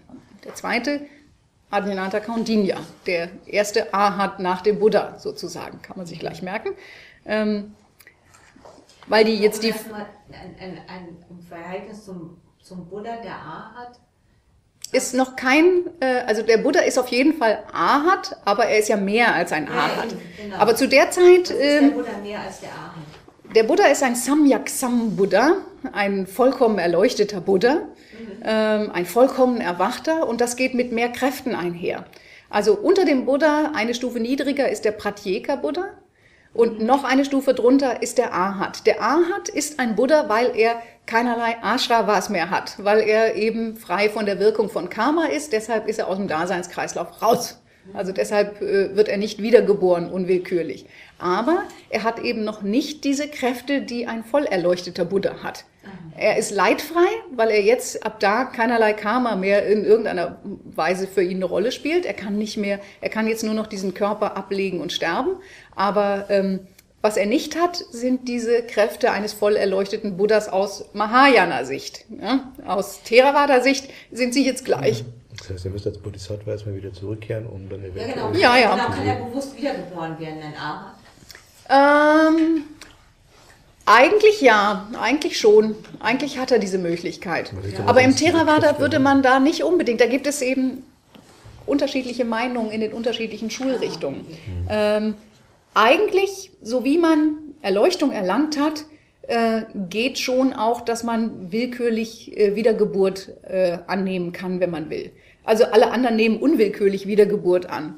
Es gibt ja auch zum Beispiel Tulkus, ähm, die jetzt noch, es gibt ja Tulkus unterschiedlicher Kategorien. Ne? Es gibt die allerhöchsten Tulkus und es gibt diejenigen, die einfach so starke Verbindungen haben und so viel gutes Karma, dass sie zwar wiedergeboren werden, ihre Wiedergeburt aber noch nicht wirklich selber bestimmen können, aber äh, zum Beispiel schon in die Richtung gehen können, weil sie einfach sehr zielgerichtet Wunschgebete gemacht haben und so weiter und so fort. Aber die noch nicht diese Macht haben, dass sie so frei selber entscheiden können, wo sie wiedergeboren werden. Da gibt es wirklich sehr, sehr starke Abstufungen. Ahatschaft bedeutet zumindest Freiheit vom Daseinskreislauf, von der unwillkürlichen Wiedergeburt. Inwieweit ähm, die jetzt selber bestimmen können, ob sie wiedergeboren werden können oder nicht, ähm, da sind die Schulmeinungen sehr unterschiedlich. Also die Theravadins würden überhaupt nicht von Wiedergeburt sprechen. Bei denen gibt es ja nicht so sehr Tulkus, die sich wiedergebären. Also ja, ja, da geht es nur darum, dass man selber rauskommt aus dem Daseinskreislauf. Also er hat das Ziel erreicht in diesem Sinne. Ja, das, das ist die Hauptsache. Ist ja der ist ja da nicht da. Äh, nicht, dass er gar nicht da ist, aber äh, in diesem Fall spielt es jetzt keine Rolle, sondern da geht es einfach nur, der ist raus. Die anderen fünf, die brauchen jetzt noch eine Zusatzbelehrung und die kriegen sie jetzt auch. die sollen ja auch mal dahin kommen. Ähm, also, ähm, da erklärte der Erhabene den übrigen fünf Mönchen, der Körper, Mönche, ist nicht das Selbst, also ist nicht der Atman. Wäre der Körper das Selbst, würde der Körper nicht Krankheit und Leid entwickeln. Und für den Körper würde man annehmen, äh, so soll mein Körper sein, nicht sei mein Körper so. Also dann hätten wir alle den Körper von Ken und ich den Körper von Barbie, äh, weil ich das gern möchte. und nicht irgendwie diese komische Masse, die man irgendwie. Äh, also genau, das können wir aber nicht. Äh, und der Körper ist nicht dasselbe. Wir haben überhaupt keinerlei Kontrolle darüber. Doch weil der Körper nicht das Selbst ist, deshalb entwickelt sich beim Körper Krankheit und Leid und nicht lässt sich annehmen, so soll mein Körper sein, nicht sei er so. Also Körper ist ja das erste der fünf Skandhas, ja, dieser fünf Komponenten, die eine Person ausmachen. Also Name und Form, genau. Also man kann auch Name und Körper sagen. Rupa ist das Sanskritwort dahinter und das heißt so viel wie Gestalt, Form, Körper. Ja. Da könnte man beides nennen. Meistens wird es mit Name und Form übersetzt, aber man kann auch Name und Körper sagen, das ist egal. Ähm, wichtig ist, dass man weiß, was gemeint ist, also eine körperliche Form, eine materielle, grobstoffliche Form. Und wenn man aber in den äh, formlosen Bereichen wiedergeboren wird, dann hat man ja einen formlosen Körper. Das heißt, äh, dann hat man keinen Körper in dem Sinne, dann hat man nur eine Benennungsgrundlage und deshalb heißt er eben Name. Ja. Deshalb heißt, das, heißt dieses Skandal Name und Form, weil man nur eine Benennungsgrundlage hat. Ich weiß nicht, ob man da als Energiewölkchen herumschwabert oder so. Jedenfalls. Das ist dieses Feinstoffliche? Genau, genau. Also da hat man eben eine feinstoffliche Form. Die, die ist nicht wirklich greifbar als materielle Form, aber sie ist eine Benennungsgrundlage. Genau. Und äh, ähm, wie ist denn das im Bardot? Also wenn man tot ist. Mhm. Da hat man den feinstofflichen Körper. Also da hat man auch einen Körper. Aber man ist ja bestrebt, wieder zurück wiedergeboren zu werden, oder? Ähm, naja, also der Bardo-Zustand ist ja so. Erstmal trennt sich der Grobstoff, diese, die grobstofflichen Elemente trennen sich von ähm, diesem feinstofflichen Körper. Also es ist ja, der Körper ist ja auch ein komplexes Ding. Der Körper ist ja nicht ein, ein, ein Span oder sowas in der Art, sondern es ist ja äh, auch eine Vielzahl von Elementen, die zum Körper gehören. Und von den grobstofflichen Elementen, davon trennt sich äh, dieses Kontinuum, das ja auch immer noch aus sehr vielen Ebenen besteht und das immer auch noch eine subtile Form hat. Und das ist die Form, die man im Bardo annimmt. Mhm. Also ist für uns natürlich sehr schwierig vorstellbar. Es ist so vergleichbar mit dem Körper, den wir im Traum annehmen, heißt es ja. immer, so zum Illusionskörper oder sowas in der Art. Ähm, aber ähm, bei vielen ist es so, dass dieser Moment des Bardo so schnell geht. Also, dass sie im nächsten Moment schon wieder in einen neuen Körper, in einen grobstofflichen eintreten. Also das hängt wirklich sehr von den Umständen vom eigenen Karma und davon ab, wie man die letzten Sterbeminuten erlebt, also wie man diesen letzten Übergang erlebt. Wenn man sehr aufgewühlt ist, dann äh, hat, beeinflusst das die Schnelligkeit, aber auch die Art, als was man, wo man dann wieder nach einem Körper greift. Aber genau dazu kommen wir dann auch gleich bei diesen zwölf Gliedern des abhängigen Entstehens. Wichtig ist, dass man sich merken muss, dass der, Körper, dass der Buddha hier ermahnt, der Körper, wie ist der zu betrachten? Also normalerweise leiden wir sehr darunter, dass wir uns so stark mit diesem Körper identifizieren. Also, dass wir Angst darum haben, ob der hübsch oder hässlich ist, äh, wie die anderen den sehen, dann ist dieses Ding natürlich ständig verbeult und schmerzt und brütet Krankheiten aus. Also dieser Körper äh, ist mehr Anlass zur Sorge und zum Schmerz, als dass man irgendwie äh, Lust und Freude darin empfindet. Aber, wie auch die Upanishade sagt, Hunger und Durst sind in all dem ganzen Kram hier eingebaut. Also wir brauchen, dieser Körper ist etwas, was ständig befriedigt werden muss.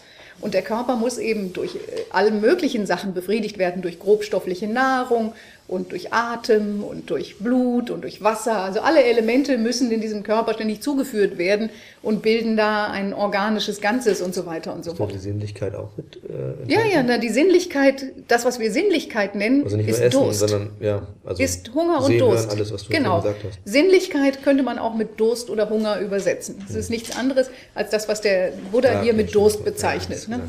Die Wahrnehmung ist auch das zweite Skandal. Das gehört damit Ja, ähm, ne? da muss man jetzt gucken, was ist Wahrnehmung.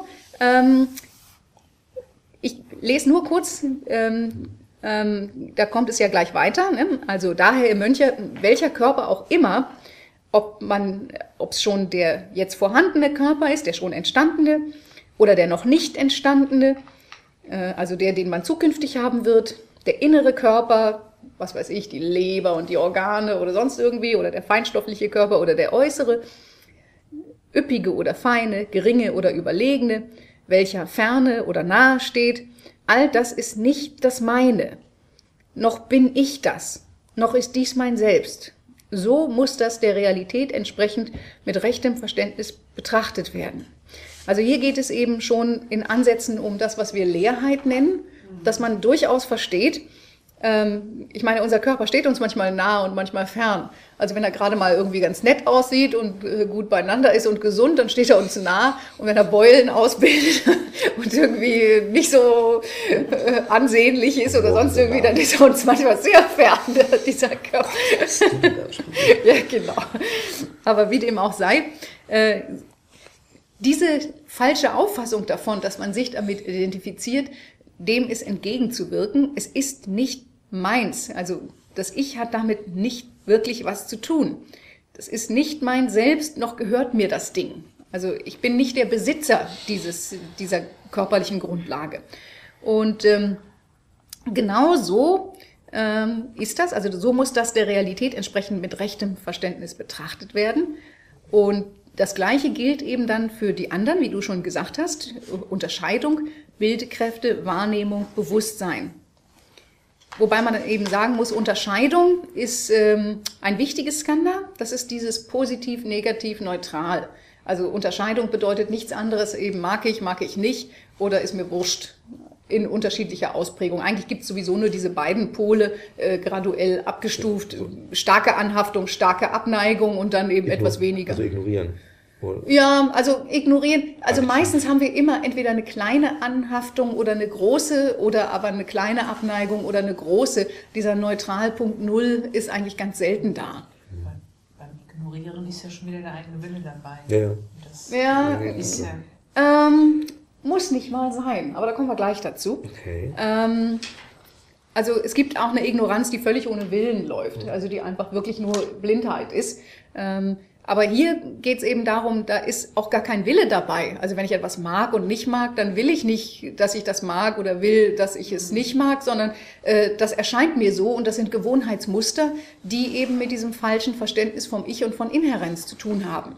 Also genauso wie man nach dem eigenen Körper greift, nach dem nach dem eigenen Unterscheidungsvermögen. Also ich greife nach meiner Meinung.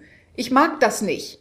Also es, ich meine, wie oft am Tag hört man solche Sätze wie, nee, das ist nicht meins. Also manche Leute mögen ja Spinat, aber Spinat ist überhaupt nicht meins. Also nee, Das nee, ist nicht mein Tag. Ja, oder so. Naja, also viel, viel extremer eigentlich noch beharren auf eigenen Meinungen, die einfach nur auf dieser Art von Wahrnehmung äh, berührt. Also die einen mögen dieses Parfum, die anderen nicht. Und da kann man sich natürlich herzlich, herzlich drüber streiten und so weiter und so fort. Und das Problem ist diese subjektive eigene Sichtweise, die aus den ganzen karmischen Bildekräften, gleich das nächste Skandal, ja, äh, kommt, die hält man für inhärent. Also man denkt, das, was man empfindet, dieses mag ich, mag ich nicht, das muss so sein. Das ist eine ewige Das ist Wahrheit von mir. sozusagen. Das ist auch ein Teil von mir oder ein Teil der Also Realität. ich mag kein Rosa. Zum Beispiel, genau. Also es ist einfach eine unumstößliche, ewige Wahrheit, dass rosa scheiße ist, so ungefähr. Also jetzt mal sehr salopp gesagt. Nicht nur für mich, sondern rosa. Diejenigen, die das glauben, ähm, denken ja wirklich, rosa ist Also schlecht. von sich auf andere dann. Also. Bei vielen Modeerscheinungen, also immer wenn, wenn irgendwie eine Revolution die andere ablöst, wie zum Beispiel im Jugendstil hat man alles verschnörkelt gehabt und dann kommt das, das Bauhaus und sagt, Ornament ist ein Verbrechen, äh, dann glauben die auch, dass sie, und sie waren der Meinung, dass sie einen ewigen Stil schaffen.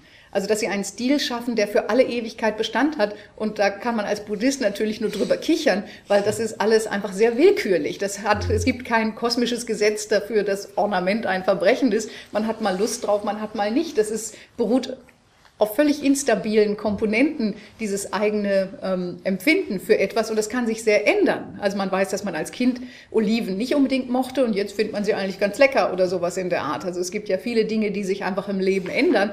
Da ist mit diesen, mit diesen unterscheidenden Wahrnehmungen, die sind sehr, sehr wandelbar und sind eben auch nicht das Selbst. Aber man greift danach, dass das das Selbst ist. Man greift danach, dass die eigene Meinung und Empfindung dafür, äh, die ist inhärent gültig sozusagen. Das ist etwas, was viel Leiden verursacht. Was heißt inhärent? Aus sich heraus. Aus sich Ewig, heraus. aus so einem ewigen Grund heraus, sozusagen, aus einer ewigen Grundnatur heraus ist rosa schlecht. Aus einer ewigen Grundnatur heraus sind Ornamente kitsch oder sowas in der Art. Und das ist einfach nicht der Fall. Es sind willkürliche Aussagen und willkürliche Empfindungen, die von Umständen und Bedingungen von einem instabilen Ich abhängen. Ist es nicht auch einfach, weil der Geist befriedigt sein will, weil er sich langweilt und immer nach dem Neuen sucht? Genau, Also das sagt der Buddha. Genau das sagt der Buddha. Zurück. Trishna. Das ist die Ursache des Leidens, dieser ewige unbefriedigte Zustand, dieses ewige Leiden. Unzufriedensein. Ja, ja, ja. Mode ist Leiden. Genau das sagt der Buddha. Also Mode ist Leiden. Also all das, was wir, ähm, also in diesen vier Siegeln, da heißt es ja, ähm, alles mit Ausflüssen behaftete ist leidhaft. Ja? Und was ist Leiden? Und wir haben ein Greifen, wo es um Mode geht, wo es um Design geht und alle diese Sachen, wo wir denken, da liegt das Glück. Wenn ich meine Wohnung endlich schick eingerichtet habe, dann bin ich für alle Zeit glücklich. Glück Und nächstes Jahr kommt eben der nächste IKEA-Katalog. Genau, da ist er viel schöner als das, was ich jetzt, Jetzt ist habe. er ja blau und der Lacktisch und nicht mehr. Ja, man sieht es ja auch daran, dass ähm, wann immer die Leute zu viel Sinnesbefriedigung erfahren, dann müsste ja der Durst abnehmen. Aber er wird noch unbefriedigter. Man hat nur gar keine Möglichkeiten mehr so richtig, sich noch ein Feld zu suchen, wo das befriedigt werden könnte. Und dann muss man die seltensten Vögel der Welt irgendwie abschießen oder sonst irgendwas, um noch Eine irgend so einen Schriften kaufen Schwachsinn. auf dem Schwarzmarkt. Ja, all solche Sachen. Ne? Ich habe jetzt eher ans nicht aufräumen müssen gedacht, weil ich war ja neulich umgezogen und habe überhaupt keine Lust weiterzumachen. Also kann es ja eigentlich so bleiben, ne? Wenn es dich nicht stört, das ist, äh, Kaum. ist jetzt nicht das Problem. Nee. Aber das Problem ist eben, dass man glaubt, über sinnliche äh, Dinge ähm, Befriedigung zu erlangen, was hiermit ausgeschlossen ist. Man züchtet sogar noch die Unzufriedenheit, weil man ordentlich für Arschrawas sorgt. für Ausflüsse im wahrsten Sinne des Wortes. Warum? Das erklären gleich die zwölf Glieder des abhängigen Entstehens. Okay, also das Ganze geht auch eben mit diesem Unterscheidungsvermögen. Die karmischen Bildekräfte, also was sind diese Bildekräfte? Das sind diese karmischen Anlagen und Potenziale. Ähm, woraus bestehen die? Na, alle Taten, die mit Unwissenheit einhergehen, die sorgen, also mit Unwissenheit und eben auch mit, diesem, mit dieser Unterscheidung, die sorgen dafür, dass wir karmisch relevante Potenziale ansammeln.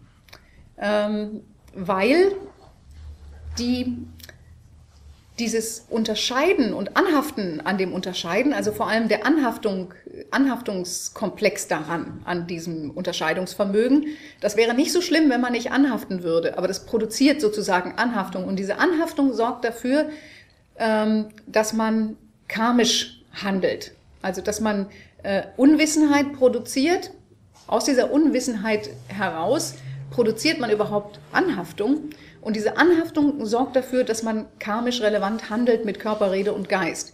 Also dass man ähm, also dass man ethisch positiv handelt oder ethisch negativ handelt. Dass er sich den schönen Menschen zuwendet und mit ihnen redlich spricht und den hässlichen Menschen halt, weil er nicht mit dem Hintern anguckt. Ähm, ja, so, also auf der einen Seite, aber vor allem, dass man natürlich in Bezug auf dieses Ich handelt. Und äh, wenn man sich anguckt, dieses, dieser ganze Komplex des Negativen und Leidvollen und Schrecklichen, dieser schrecklichen Verbrechen in dieser Welt, kein Mensch möchte wirklich von sich sagen, doch, ich bin Dieb aus Überzeugung, ich bin Mörder aus Überzeugung, ich bin Vergewaltiger aus Überzeugung, finde ich gut. Also normalerweise sagen die Leute schon, sie möchten eher so was Heldisches sein, was Gutes sein und möchten eher der Supermann sein und der, der äh, ja, der, der auf dem Podest steht und dem die anderen den Lorbeerkranz überstülpen und so weiter und so fort. Und gerade weil sie eigentlich das sein möchten und frustriert sind darüber, dass ihnen ihr Ego immer wieder entgleitet und dass sie keine Befriedigung finden, äh, tun sie Dinge, die sie eigentlich nicht wirklich für gut halten können. Also wo ihnen auch ihr, ihr, ihre innere Stimme, ihr Antar Swamin, ihr innerer Lenker, ihr inneres Ich sagt, ähm, das ist nicht gut. Sie tun es aber, ähm, verstecken sich hinter ihren Taten und präsentieren ein anderes Selbst. Es ist eine merkwürdige Abkopplung und die hat mit diesem Greifen nach dem Ich zu tun. Das ist eine Anhaftung auch an, an dieses eingebildete äh, Ich, an dieses Ego, äh, was man für inhärent und für schützenswert hält, über das man aber gar nicht richtig Bescheid weiß. Also normalerweise sind wir mit einem Instinkt geboren, mit einem instinktiven Greifen nach dem Ich. Das ist gar nicht mal so, dass wir uns unbedingt über alle stellen wollen, sondern wir nehmen uns als eine Entität wahr, die es zu schützen gilt. Das hat schon auch, wenn man wenn ein Insekt hier rüberkrabbelt und ich halte meinen Finger hin und dieses Insekt versucht, sich davor in Sicherheit zu bringen, dann hat es ein Ich-Gefühl. Und schon dieses Ich-Gefühl basiert auf Unwissenheit. Also das ist für uns immer sehr schwierig nachzuvollziehen, weil wir so gewohnt sind an dieses Ich-Gefühl. Also wir nehmen uns nicht wahr als eine seltsame, lockere Anhäufung von karmischen Anlagen, Wahrnehmung, Bildekräften, Name und Form und so weiter und so fort. Also wir, wir haben dieses Ich-Gefühl, das hüllt uns den lieben langen Tag ein. Und ähm, wir halten das auch für völlig natürlich gegeben und richtig und äh, da kommt uns gar nicht der Gedanke. Ja, ja, das ist konstituiert unsere Welt. Also wir können uns gar nicht anders sehen. Und äh, denken wir, wir können uns sehr wohl anders sehen, da geht's ja hin. Ähm, aber aus diesem Gefühl heraus, für dieses Ich, entstehen auch diese ganzen schlimmen und negativen Taten, die, wenn wir wüssten, dass eigentlich dahinter eine subtile Ebene des Geistes steht, dass wir all das andere, was uns jetzt ausmacht, sowieso irgendwann abwerfen, dass das flüchtig ist. Das Einzige, was bleibt, äh, und von einem Leben ins nächste geht, sind eben diese Kontinuen von Momenten der subtilsten Ebene des Geistes. Aber da kommen wir gleich noch zu bei den zwölf Gliedern des abhängigen Entstehens. Also wichtig ist, es gibt diese fünf Skandhas, die das ist, was wir sind. Also wenn man mich fragt, was ich bin, was bist du denn? Ich bin fünf Skandhas. also ich kann das mal sagen, ich bin nämlich fünf Bildekräfte, also ich bin Bildekräfte, ich bin Wahrnehmung, ich bin Name und Form und ich bin Bewusstsein und ich bin, äh, ja, Gefühle und so. Hm? Urteilsvermögen. Urteilsvermögen ist diese Wahrnehmung, aber... Nee, äh, du hast gesagt, ich habe das aufgeschrieben, war das in der Artikel uns gesagt, das Urteilsvermögen... Aha auch ein Element ist, eins von den fünf. Ja, das ist das gleiche wie Unterscheidung. Wichtig ja, Unterscheidung, ist, genau. Ja, Wahrnehmung ist überhaupt die sechs Sinne. Ne? Also ja. unterscheidende Wahrnehmung, es gibt so viele Begriffe dafür. Wichtig ist, dass man weiß, was gemeint ist. Also diese unterscheidende Wahrnehmung, das ist eben gemeint mit mag ich, mag ich nicht, ist mir wurscht. Also diese drei gibt es. Gefühle, so wird es auch oft übersetzt. Ja? Äh, Bewusstsein ist grundsätzlich, dass man sowas wie ein Bewusstsein hat, dass einem auch das, was man wahrnimmt, zum Bewusstsein kommt. Also eines der Skandals ist eben, ähm, dass man überhaupt sechs Sinne hat, mit denen man wahrnehmen kann. Zu den sechs Sinnen gehören gehört, also wir, wir kennen immer bei uns nur fünf Sinne, aber das, der, der sechste Sinn ist so eine oberflächliche Art des diskursiven Denkens. Das zählt mit zum Sinnen, zu den Sinnen. Das ist nicht äh, jetzt gehört weniger zum Bewusstsein als zu den Sinnen. Die Sinne, wie die entstanden sind, das sagt halt die Upanishade äh, in so einer netten Art und Weise. Also eigentlich eher, wie man sie empfindet, als wie sie jetzt tatsächlich entstanden sind. Aber es ist sehr nett eingefühlt. Gut, also das, das sind wir, wobei eben es unterschiedliche Schulmeinungen innerhalb der buddhistischen Schulen gibt. Manche sagen, es reicht eigentlich schon eins dieser Skandhas für eine Person. Andere sagen, alle fünf müssen da sein. Andere sagen, es müssen nur drei da sein. Also Name und Form äh, müssen da sein und Bewusstsein muss da sein. Sagen die einen, das reicht schon. Die anderen sagen, nee, man braucht eben auch noch diese karmischen Bildekräfte, sonst ist das Ganze witzlos und so weiter und so. Aber da gibt es unterschiedliche Argumentationen, dies nur am Rande. Die höheren Schulrichtungen sagen alle, man braucht diese fünf. Und ähm, Wichtig ist ja eben nicht, dass man das stur auswendig lernt, sondern dass man versteht, was ist damit gemeint. Und die Relevanz für diese ganzen Sachen ähm, ist ja, dass man erkennt, dass dieses Ich eben keine inhärente, ewige Grundnatur hat. Es gibt keine ewige, inhärente Grundnikola in mir, sondern äh, von Kontinuum zu Kontinuum, äh, das ist ein Strang sozusagen. Es ist anfangslos und endlos. Und das ist ja der große Unterschied auch zum Hinduismus. Also die hinduistischen Systeme nehmen alle an, ähm, dass ein und dieselbe Person Transformationen durchläuft. Also wenn in diesem Leben ich als Kriegsopfer schlimmst vergewaltigt werde, meine Kinder vor meinen Augen erschossen, dann hat das damit zu tun, dass ich irgendwann mal in vorigen Leben schrecklich gehandelt haben muss. Es ist sozusagen meine karmische Last, die ich ausbaden muss. Und genau das, sagt der Buddhismus, ist nicht der Fall. Es ist nicht so, dass die Person, die das Schreckliche erlebt, also das Reifen der karmischen Frucht, dass die identisch ist mit der, die es angehäuft hat, sondern sie steht mit ihr in einem Kontinuumszusammenhang, ist aber nicht die identische selbe Person.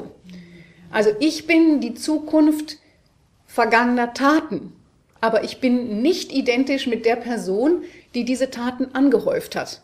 Und das ist ein großer Unterschied und ein schwieriger Unterschied. Also das erfordert schon tiefes Nachdenken und Einfühlen und Empfinden, äh, dass man das wahrnimmt. Weil dann könnte man ja sagen, na ja, guck mal hier, der hat jetzt ein behindertes Kind, dann muss entweder das behinderte Kind und er, die müssen einen karmischen Zusammenhang gehabt haben und müssen im letzten Leben aber super viel falsch gemacht haben oder so. Das geht so nicht. Also das ist aus buddhistischer Sicht nicht stichhaltig.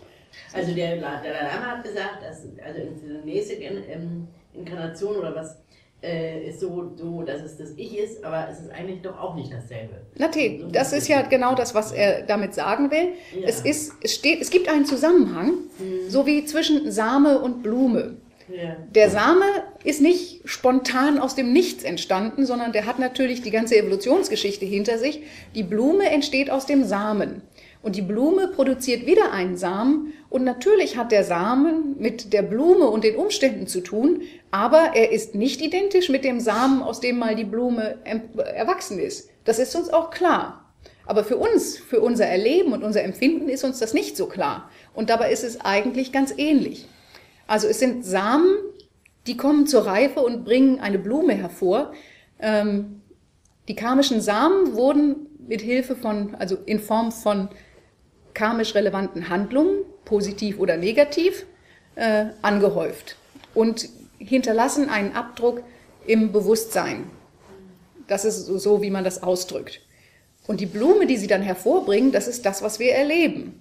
Und ähm, je nachdem, was da vorgekommen ist, ist es eben eine olle Stinkmorchel, die uns das Leben schwer macht, oder es ist ein wunderbar duftendes Blümchen und alle erfreuen sich daran oder sowas, oder auch wir. Also das, was wir erleben, ist Frucht und wir sind das auch und wir häufen auch wieder Neues an. Also diese Blümchen, die wir sind, die haben, das, die haben die Möglichkeit, durch unser Tun bringen wir das Ganze weiter. Ashravas, da fließt was aus und da kommt wieder was Neues bei raus. Und das ist aber nicht identisch mit uns, sondern das ist das, was wir geschaffen haben und was dann ein neues Wesen formt, was daraus hervorgekommen ist. Kann man sagen, dass das ähm, dass, die, dass der Hauptunterschied ist, dass es dann bei den Buddhisten wandelbar ist, dass du äh, dass das andere Karma eben auf dich einstürzt, weil du das vorher gemacht hast, ich vorher jemanden umgebracht und jetzt äh, wird mir, was weiß ich, für mein Bein abgeschnitten oder sonst noch was. Ähm, Nicht du. Ähm, und eben. das ist eben, ich kann es gar nicht verändern. Es ist halt so da. Während nee, das wäre bei beiden so. Also auch die Hindus sagen ja, Karma ist wandelbar. Du kannst ja jetzt gut handeln. Ne? Mhm. Also auch wenn du jetzt äh, äh, furchtbar Pech hast und als armer äh, äh, unberührbarer geboren bist. Du musst diese karmische äh, Schuld jetzt abtragen, so ungefähr. Aber äh, irgendwann ist die erschöpft, du stirbst und dann, äh, wenn du in diesem Leben als Shudra, als Unberührbarer oder sonst irgendwie gut gehandelt hast, hast du ja die Möglichkeit, in der nächsten Geburt als Brahmane geboren zu werden. Also wandelbar ist Karma immer, ne? aber äh, das Kontinuum ist quasi inhärent. Das Kontinuum bleibt gleich. Es ist immer die gleiche Seele, die gleiche Monade, die äh, das erlebt. Während das sagt der Buddhismus eben nicht. Es ist nicht die gleiche Person, die das erlebt, sondern die Person als solche ist ein vollkommen essenzloses Gebilde. Es ist wirklich eine Ansammlung der Elemente und der verschiedenen Bewusstseinsströme und der verschiedenen Bewusstseinsebenen und die alle haben überhaupt keinerlei äh, Substanz. Wobei man dann eben auch wieder unterscheiden muss, da gibt es eben die, die niedrigen philosophischen Schulen des Buddhismus, die sagen einfach, äh, wenn das eine äh, zu Ende geht, fängt das andere an. Deshalb ist es nicht richtig, äh, dass man sagen kann, die Dinge ähm, existieren oder sie existieren nicht. Sie existieren, aber sie ähm, haben keinen kein Anfang und kein Ende in dem Sinne. Und die höheren philosophischen Schulen, die argumentieren eben so, äh, dass es nicht das Stichhaltige, dass das eine sich zum anderen wandelt, sondern das Stichhaltige ist, dass wenn man das Objekt sucht, man es nicht finden kann. Also wenn man den Samen sucht, dann kann man ihn nicht wirklich finden, denn der Same besteht ja auch aus Erde, Wasser, Feuer, Luft und so weiter und so fort. Und wenn man dann zurückgeht, dann ist man im atomaren Bereich und dann ist man in der Evolutionsgeschichte und das, das Objekt selbst rinnt dir zwischen den Fingern weg. Naja, aber bevor ich drauf noch, dass zum Beispiel dieses Kastendenken mhm. äh, sich in diesem philosophischen äh, Denken dann eben, dann ist er selbst schuld, ja, genau. wo er jetzt ist. Genau. Ja? Selbst schuld und dann, wenn ich den sehe und der arme Bettler liegt da und dann sage ich, ja gut, recht geschehen, du hast schon entsprechend was vorher gemacht. Ne? Musst genau. Ja, hast ja? du Pech gehabt, ja. Ja, Pech gehabt. Während eben dann bei diesem buddhistischen Denken, also auch dieses Mitgefühl, dieser mhm. Bodhisattva-Gedanke, dadurch, durch diese andere, dieses anderen philosophischen Hintergrund auch eben auch seine Berechtigung hat. Ja, also er ist, sagen wir mal, leichter argumentierbar, wobei man, ja, ja, man, man darf aber den Hindus jetzt nicht Unrecht tun. Also die meisten hinduistischen Schulen, ja, also natürlich ist es so, ähm, dass man, dass man als Hindu natürlich weiß, oh oh, der Arme muss jetzt ausbüßen, was er in vergangenen Leben an Mist gemacht hat, in welcher Form auch immer. Er kann ja vorher auch eine Frau oder ein Mann gewesen sein, in welcher Form auch immer. Und wenn jemand ganz besonders übel dran ist, dann muss er wahrscheinlich sogar vorher ein hoher Brahmane gewesen sein, weil so tief fallen kann man dann nur, wenn man seine Stellung sowas von mies missbraucht hat oder sowas in der Art. Also da gibt es dann viele Argumentationsweisen in dieser Hinsicht. Aber tatsächlich ist eben festzuhalten, da gibt es ein Kontinuum, was inhärent ist. Während das ja der Buddhismus eben negiert, das ist nicht so. Es ist ein kausalen Nexus. Es gibt ähm, in den unterstufigen Erklärung ist es eben quasi Ursache und Wirkung. In den höheren Schulen ist es aber noch viel subtiler und komplexer. Also da ist es dann eben, da geht es hauptsächlich darum zu erkennen, diese Ebene des klaren Lichts. Ja, sind Energieformen mehr, ne? Naja, also es ist was Geistiges und geistig kann man nicht gleichsetzen mit Energie. Mhm. Es gibt eine Energie, die das Geistige trägt. Also das Geistige braucht eine Trägerenergie, damit es sich überhaupt in irgendeiner Form mhm. niederschlagen kann. Aber tatsächlich ist das Geistige ähm, auch etwas, was sich permanent wandelt, was aber eine bestimmte Qualität besitzt. Mhm. Und ähm, wie kommt, aber das ist jetzt natürlich die interessante Frage, wir lesen noch kurz den, den äh, Schlussvers hier. Mhm. Äh, und in dieser Weise, ihr Mönche betrachtet ein aufmerksamer, edler Hörer, also ein Ahat, den Fünfer-Aneignungskomplex, diese Upadana Skandhas. Äh, nicht ist dieses das Ich, nicht ist dieses das Meine, und in dieser Weise betrachtend wird keinerlei Welt angeeignet. Wenn nichts angeeignet wird, wird nichts aufgerührt. Und wenn nichts aufgerührt wird, beruhigt sich bzw. erlischt das konventionelle Selbst. Der Prati-Atman.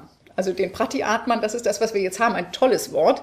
Äh, da habe ich heute auch gestutzt, als ich das gelesen habe. Prati äh, ist immer sowas wie Ersatz, das Ersatz selbst. Das ist das, was wir jetzt bewohnen. Toll, tolles. Wort. Hatte ich so noch nicht vorher gelesen. Also wie gesagt, dieses Stück ist äh, uralt, das Chatushparishat Sutra. Äh, und so steht es im Pali eben nicht. Und das finde ich sehr erstaunlich. Aber bei den Tibetern steht es tatsächlich auch so drin. Ähm, Vernichtet ist mir Geburt, der Brahma-Wandel ist vollzogen, was zu tun war, ist getan, nicht gibt es daher ein künftiges Werden. Also das ist hier das Ziel des Buddhisten, dass es kein künftiges Werden gibt, also das ist das Theravada-Ziel, muss man dazu sagen. Natürlich ist es auch das Mahayana-Ziel, dass es kein un, also kein willkürliches Werden mehr gibt, sondern dass es, wenn nur noch ein selbstbestimmtes Werden gibt, ähm, kein, un, kein unwillkürliches Werden. Genau, genau. Also dass es, dass, dass es nur noch ein selbstbestimmtes Werden gibt. Das ja. wäre für den Mahayana das Ziel, dass man sich verkörpern kann zum Wohle aller Wesen. Mhm. Während hier ist es erstmal das erste Ziel ist, äh, nicht mehr sollen die Elemente machen, äh, dass ich überhaupt Existenz annehme in dieser leidvollen, gruseligen Form. Ähm, jetzt ist natürlich wirklich die Frage, wie kommt man überhaupt in die Welt? Also wie kommt es, dass man sich überhaupt mal irgendwann verkörpert hat? Also wie kommt es dazu, dass es überhaupt sowas wie diesen Prati-Atman, dieses komische Ich hier gibt, das hier sitzt und äh, leidet? Und am Anfang des Buddhismus zählte das zu den Fragen, die man nicht stellen soll. es gibt so sieben Fragen, die man nicht zu stellen hat, weil die Antwort äh, das eigene Auffassungsvermögen am Anfang übersteigt. Und äh, das heißt, ähm, da wird dieses berühmte Beispiel angefügt, das ist so, als ob jemand von einem Pfeil getroffen ist und sagt, nee, zieht mir den Pfeil jetzt nicht raus, erst muss ich wissen, ob der, der ihn abgeschossen hat, ein Brahmane, ein Shudra, ein Kshatriya oder sonst irgendwas war.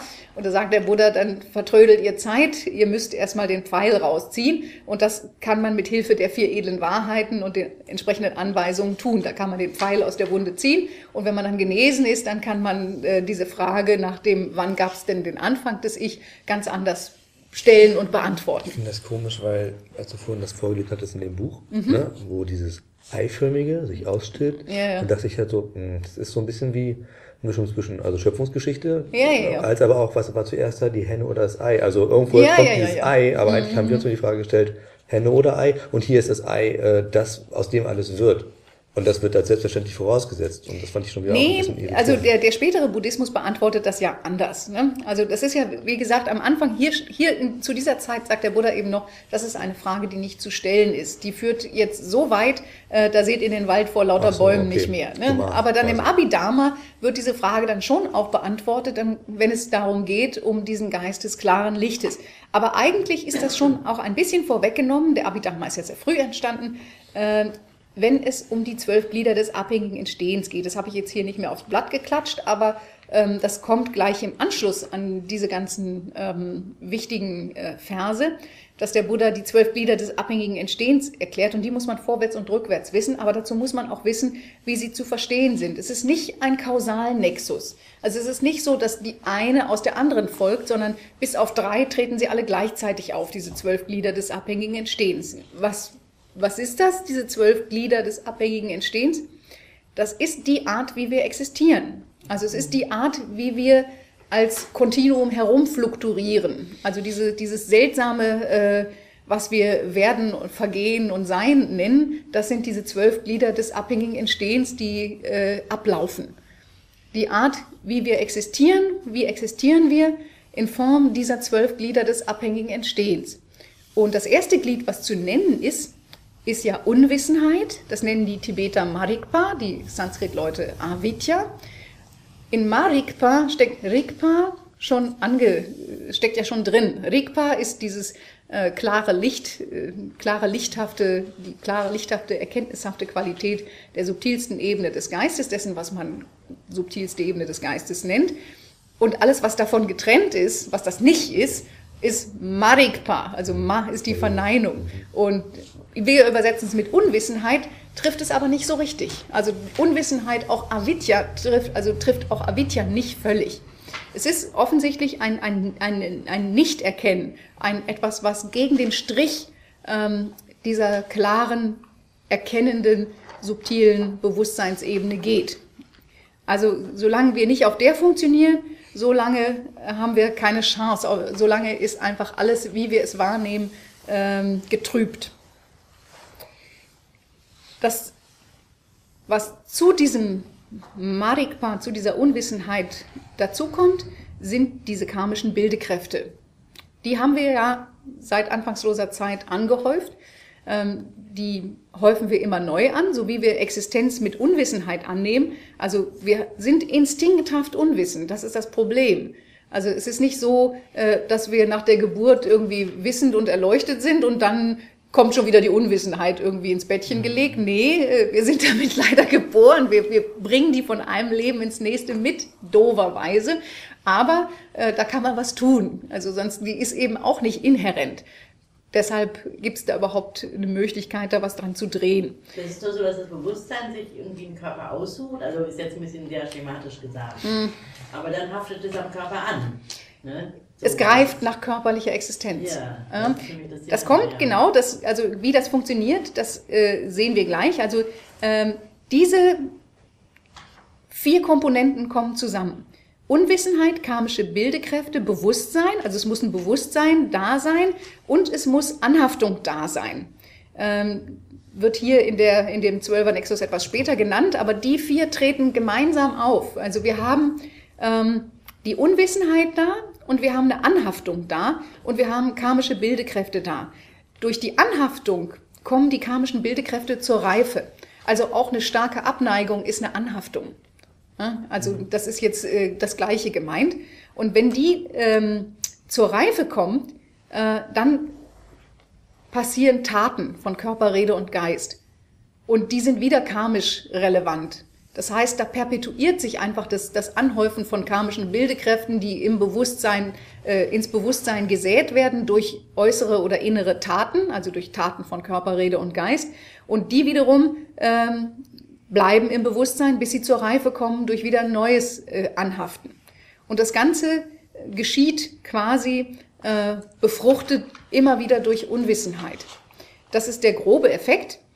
Und das zieht nach sich das Ausbilden von Werden von Name und Form, von diesen sechs Sinnesquellen, die entstehen dann gleich immer mit. Also diese sechs Sinnesquellen sind eben auch die, die in der Upanishad hier so diese große Rolle spielen. Also die überhaupt das Bewusstsein, äh, die die Fenster zum Bewusstsein sind. Das Bewusstsein speist sich aus diesen sechs Sinnesquellen. Und weil es die sechs Sinnesquellen gibt, gibt es Kontakt mit äußeren Objekten. Eigentlich gibt es keinen wirklichen Kontakt mit den äußeren Objekten, sondern die Sinnesquellen ähm, die sind da und bilden die Sinnesorgane aus. Also die Sinnesquellen sind nicht gleichzusetzen. Das Auge ist nicht die Sinnesquelle, sondern der Sehsinn ist noch was anderes als äh, das Sinnesorgan. Die bilden die Sinnesorgane aus. Und das Auge nimmt zwar irgendwas wahr, aber wie das Gehirn und diese Sinnesquelle das Ganze aufbereitet, ist ähm, sehr subjektiv. Und wie das Bewusstsein es wahrnimmt, ist auch eben von Unwissenheit und karmischen äh, Bildekräften, die zur Reife kommen, abhängig. Aber das sind erstmal vier Skandhas. Wieso immer noch das? Nein, das sind keine Skandhas. Das sind die zwölf Glieder des abhängigen Entstehens. okay. Ja. Ja, das, das ist, was da unten steht, das sind zwölf Stück. Und wie gesagt, davon treten, äh, die treten alle simultan aus, bis auf die letzten, äh, Geburt, Altern und Tod und Werden. Das sind die, die dann nacheinander auftreten. Während die anderen Unwissenheit, karmische Bildekräfte, Bewusstsein, Name und Form, die sechs Sinnesquellen, Kontakt, unterscheidende Empfindung, Anhaftung und Greifen, die treten gleichzeitig auf. Das ist, äh, das ist das, was man wissen muss. Oder quasi gleichzeitig. Also man sagt immer, dass sie gleichzeitig auftreten, weil sie quasi unmittelbar miteinander verflochten sind und zu tun haben. Also durch die Sinnesquellen gibt es eben Kontakt, das, was wir für Kontakt halten, was aber in Wirklichkeit auch getrübt ist und das Bewusstsein, äh, so wie es das wahrnimmt, also die, die Wahrnehmung, äh, ist karmisch geprägt. Das heißt, sie ist determiniert. Das kann man natürlich ändern. Also man kann ja sein Karma ändern, indem man gute Taten also die tut. Lehre, ähm, sich eine Lehre übt. Also ich frage mich jetzt gerade, wo halt jetzt diese Veränderung dann stattfindet. Ähm, es ist so, das Glück und das Unglück, was man dabei empfindet und diese Wahrnehmung, ob man das mag oder nicht mag, das hat sehr stark mit dem Karma zu tun. Mhm. Ähm, es gibt ja Leute, die sehr empfindlich auf winzigsten Schmerz, äh, während anderen auch haben da nicht so das große Problem damit. Einigen ist ganz schnell kalt und ganz schnell heiß. Äh, leiden da entsetzlich drunter und oh, habe ich kein großes Problem damit. Das alles hat mit Karma zu tun. Und ähm, dann auch ähm, ob man etwas als, äh, ob man genießen kann oder nicht genießen kann. Das hat auch mit Karma zu tun. Also es gibt zum Beispiel Menschen, äh, schönste Farben, also Farben und schöne Formen und so weiter. Das ist sehr abhängig von gutem Karma, dass man solche Dinge schätzen und genießen kann. Es gibt auch eben diese Homo-Faber, die irgendwie an nichts Freude haben so richtig. Also die sind auch nicht besonders unglücklich, aber große Freuden, also große Sinnesfreuden haben die auch nicht. Hat mit Karma zu tun. Aber das, was ich dachte, gelernt oder verstanden zu haben, war halt, dass wenn ich ähm, diese mir das bewusst wird, wenn mhm. ich es mir anschaue, dass mhm. ich dann ja sehr wohl in der Lage bin, ähm, sowas wie, also ähm, Farben durchaus genießen zu können oder halt meine, meine Antipathie gegenüber Dingen zu relativieren, sodass mhm. sie mir nicht mehr anhaftend erscheinen. Genau. Das ist ja der Prozess, den ich jetzt gerade hier, äh, also quasi versuche, mich darin zu üben. Also genau. Das ist aber auch dann der Wandel, der einzige, der mir übrig bleibt in den meisten von den zwölf Gliedern, ähm. die, statt, die äh, gleichzeitig stattfinden. Ja, ähm, es ist nicht, also wir haben viel mehr Freiheit, als wir ahnen. Also es geht ja darum, warum macht man dieses Training, dass man nicht allzu sehr anhaftet an den schönen Dingen, äh, also nicht so darunter leidet, wenn die jetzt nicht vorhanden sind und dass man auch seine Abneigung versucht in den Griff zu bekommen, weil man einfach sagt, die sind leer und äh, die Art, wie ich darauf reagiere, ist nichts weiter als Anhaftung und die beruht auf Unwissenheit. Also das sind so die besten Mittel, mit denen man das in den Griff bekommt, obwohl es natürlich schwer ist, weil es so völlig gegen die Natur zu sein scheint. Und man leidet darunter, weil man denkt, doch, ja, aber so gar keine Freude mehr und so weiter. Man sieht ja nicht, dass es tatsächlich eigentlich Leiden perpetuiert. Das fällt am Anfang ja wirklich schwer zu sehen. In dem Moment, also wenn ein Buddha Buddhaschaft erreicht oder ein Ahat Ahatschaft erreicht, dann ist es nicht so, dass er das nicht mehr wahrnimmt, ob da Blumen äh, in, einer, in einer gewissen Weise konventionell schön sind oder nicht, äh, aber das Ganze hat nichts mehr mit Leiden zu tun. Ich denke, man er kann das sehr wohl wahrnehmen. Er, er wird es nicht mehr ganz so genau. Also es gibt ja auch also Aussagen des Buddha genau darüber, dass eben bestimmte Stoffe er als sehr angenehm weich empfunden hat und so weiter und so fort. Aber die haben eine höhere Wahrnehmung. Mhm. Also das ist dann einfach das Ganze auf einem ganz anderen Niveau. Da ist also denen fehlt nichts, wenn das nicht da ist. Und trotzdem können sie das natürlich noch genau wie wir konventionell unterscheiden, wie etwas geartet ist und die Unterschiede durchaus wahrnehmen. Die sind ja jetzt nicht tot. Also die Sinne funktionieren ja trotzdem weiter noch. Aber ich hätte jetzt verstanden, so im Vergleich zum Hinduismus, äh, dass also diese, dieses Kontinuum mhm. äh, eine viel abstraktere Ebene ist, als jetzt zu sagen, irgendwie, ähm, weil ein Individuum in einem vorigen Leben etwas Schlechtes getan hat, ist das jetzt die Konsequenz, die Blüte, die es jetzt in diesem Hier und Jetzt zu tragen hat. Ja, also der Bettler oder wie auch immer. Mhm. Halt so. Und dieses Abstrakte Also dieser, also dieser, Was meinst du mit abstrakt? Also ja, das, das habe ich glaube ich noch nicht ganz verstanden. Also da, wo du es sagst, ist, ist ein empfindlicher konkret. Unterschied. Also es ist ja äh, das Konkrete, also das Reale, das Vorhandene ist ähm, nur nicht persönlich. Also es gibt kein wirklich persönliches Ich, mhm. sondern warum gibt es kein persönliches Ich? Nimm dein Leben nicht persönlich, das ist eins meiner Lieblingsbücher, buddhistisches.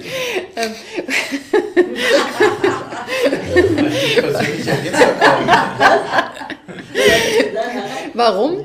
Weil es eben eigentlich aus leeren Komponenten, aus allgemeinen Komponenten besteht.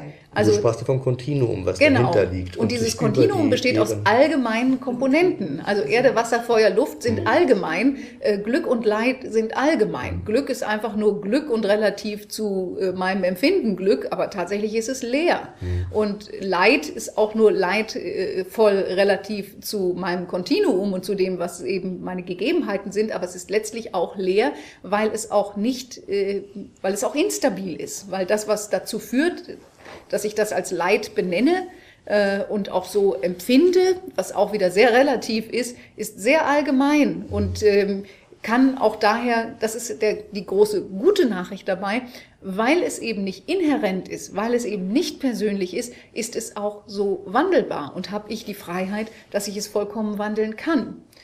Es ist durch mich und keinen anderen als mich angehäuft. Aber wer ist ich? Was ist dieses Ich? Und das ist eben ein, ein Konglomerat aus unterschiedlichen Faktoren, aus diesen fünf Skandhas, die ja große Bereiche sind, wo viele Unterbereiche dazugehören. Aber keiner der Bereiche und Unterbereiche ist persönlich, sondern es sind einfach Eigenschaften, Qualitäten, Elemente, äh, die zusammenwirken, die auch ähm, eine Verbindung eingehen. Da muss man natürlich dann noch genauer in die Tiefe gehen. Inwiefern gehen solche allgemeinen Dinge eine Verbindung ein? Äh, was steckt da dahinter? Das wird auch kompliziert und komplex erklärt. Daran studieren die Gesches ja 25 Jahre herum. Genau um diese Sachen geht's natürlich da.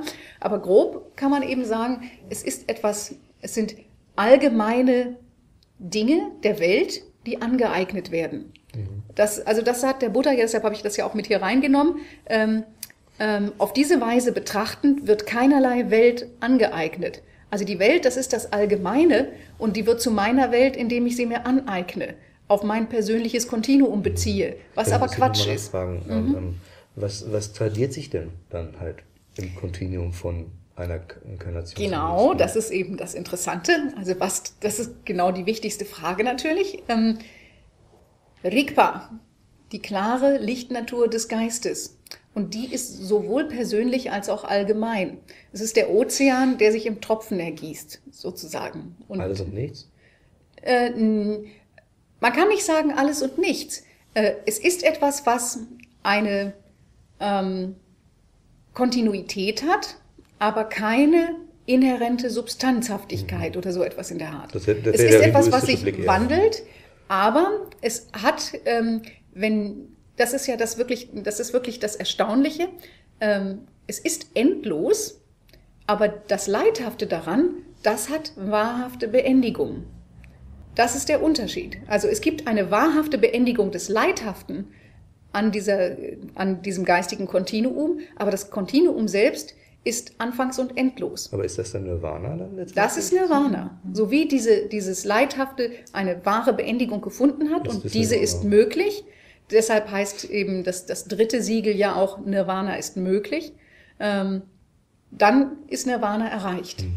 Okay, danke. Wenn das Leidhafte eine wirklich vollständige Beendigung gefunden hat. Und dass das möglich ist, ist erstaunlich, weil das Kontinuum selbst, also dieses Rigpa, dieses klare, erkenntnishafte, qualitative des Geistes, äh, diese subtilsten Ebene des Geistes, das hat tatsächlich, das ist endlos. Und das beantwortet dann eben auch die kluge Frage, was passiert mit einem Buddha, wenn er gestorben ist? Ist er dann einfach ausgeblasen und erloschen, wie einige glauben, oder existiert er dann in irgendeiner Form weiter?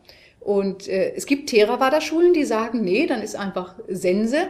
Und da sagen aber dann die späteren buddhistischen Philosophen, das kann ja gar nicht sein, weil äh, es gibt eben diese klare Ebene. Das, die gibt es übrigens ähm, nicht nur im Buddhismus, sondern auf, also viele spätere, die Erleuchtung erfahren haben, beziehen sich auf was ganz Ähnliches. Also da gleicht sich dann am Schluss vieles wieder an und da verschwimmen dann auch diese ganzen Unterschiede, Hinduismus, Buddhismus und bla bla bla, sondern diejenigen, die es erkannt haben, für die ist es alles dasselbe wahrscheinlich. Aber gut, ähm, der Buddhismus ist ja sehr empirisch und sehr klar, was das anbelangt und sagt eben genau, das ist eben der Punkt. Da der Geist anfangslos ist, muss er endlos sein. dass eine Abfolge von äh, Kontinuen äh, von, von Ursachen ist, die immer wieder das nächste, den nächsten Moment quasi einleiten, ähm, kann es da keine, kein, kein Ende geben. Aber das Leidhafte daran, das kann ein Ende haben, weil es eben aufgrund von instabilen Ursachen und Bedingungen zustande gekommen ist. Und wenn das beendet ist, dann hat man nur noch diese, dieses freudvolle, klare Licht des Geistes, Rigpa sozusagen. Okay. Es ist nicht einfach, wirklich. Es ist harter Tobak und die Erklärungen dafür sind sehr ausführlich und nicht einfach nachzuvollziehen. Das klingt aber, ich kann schon, glaube ich, ein bisschen verstehen. Man muss, man muss das erstmal intellektuell sich daran nähern und dann muss man es meditieren. Mhm. Das ist der Sinn der Übung auch von Debatten in Klöstern und so weiter.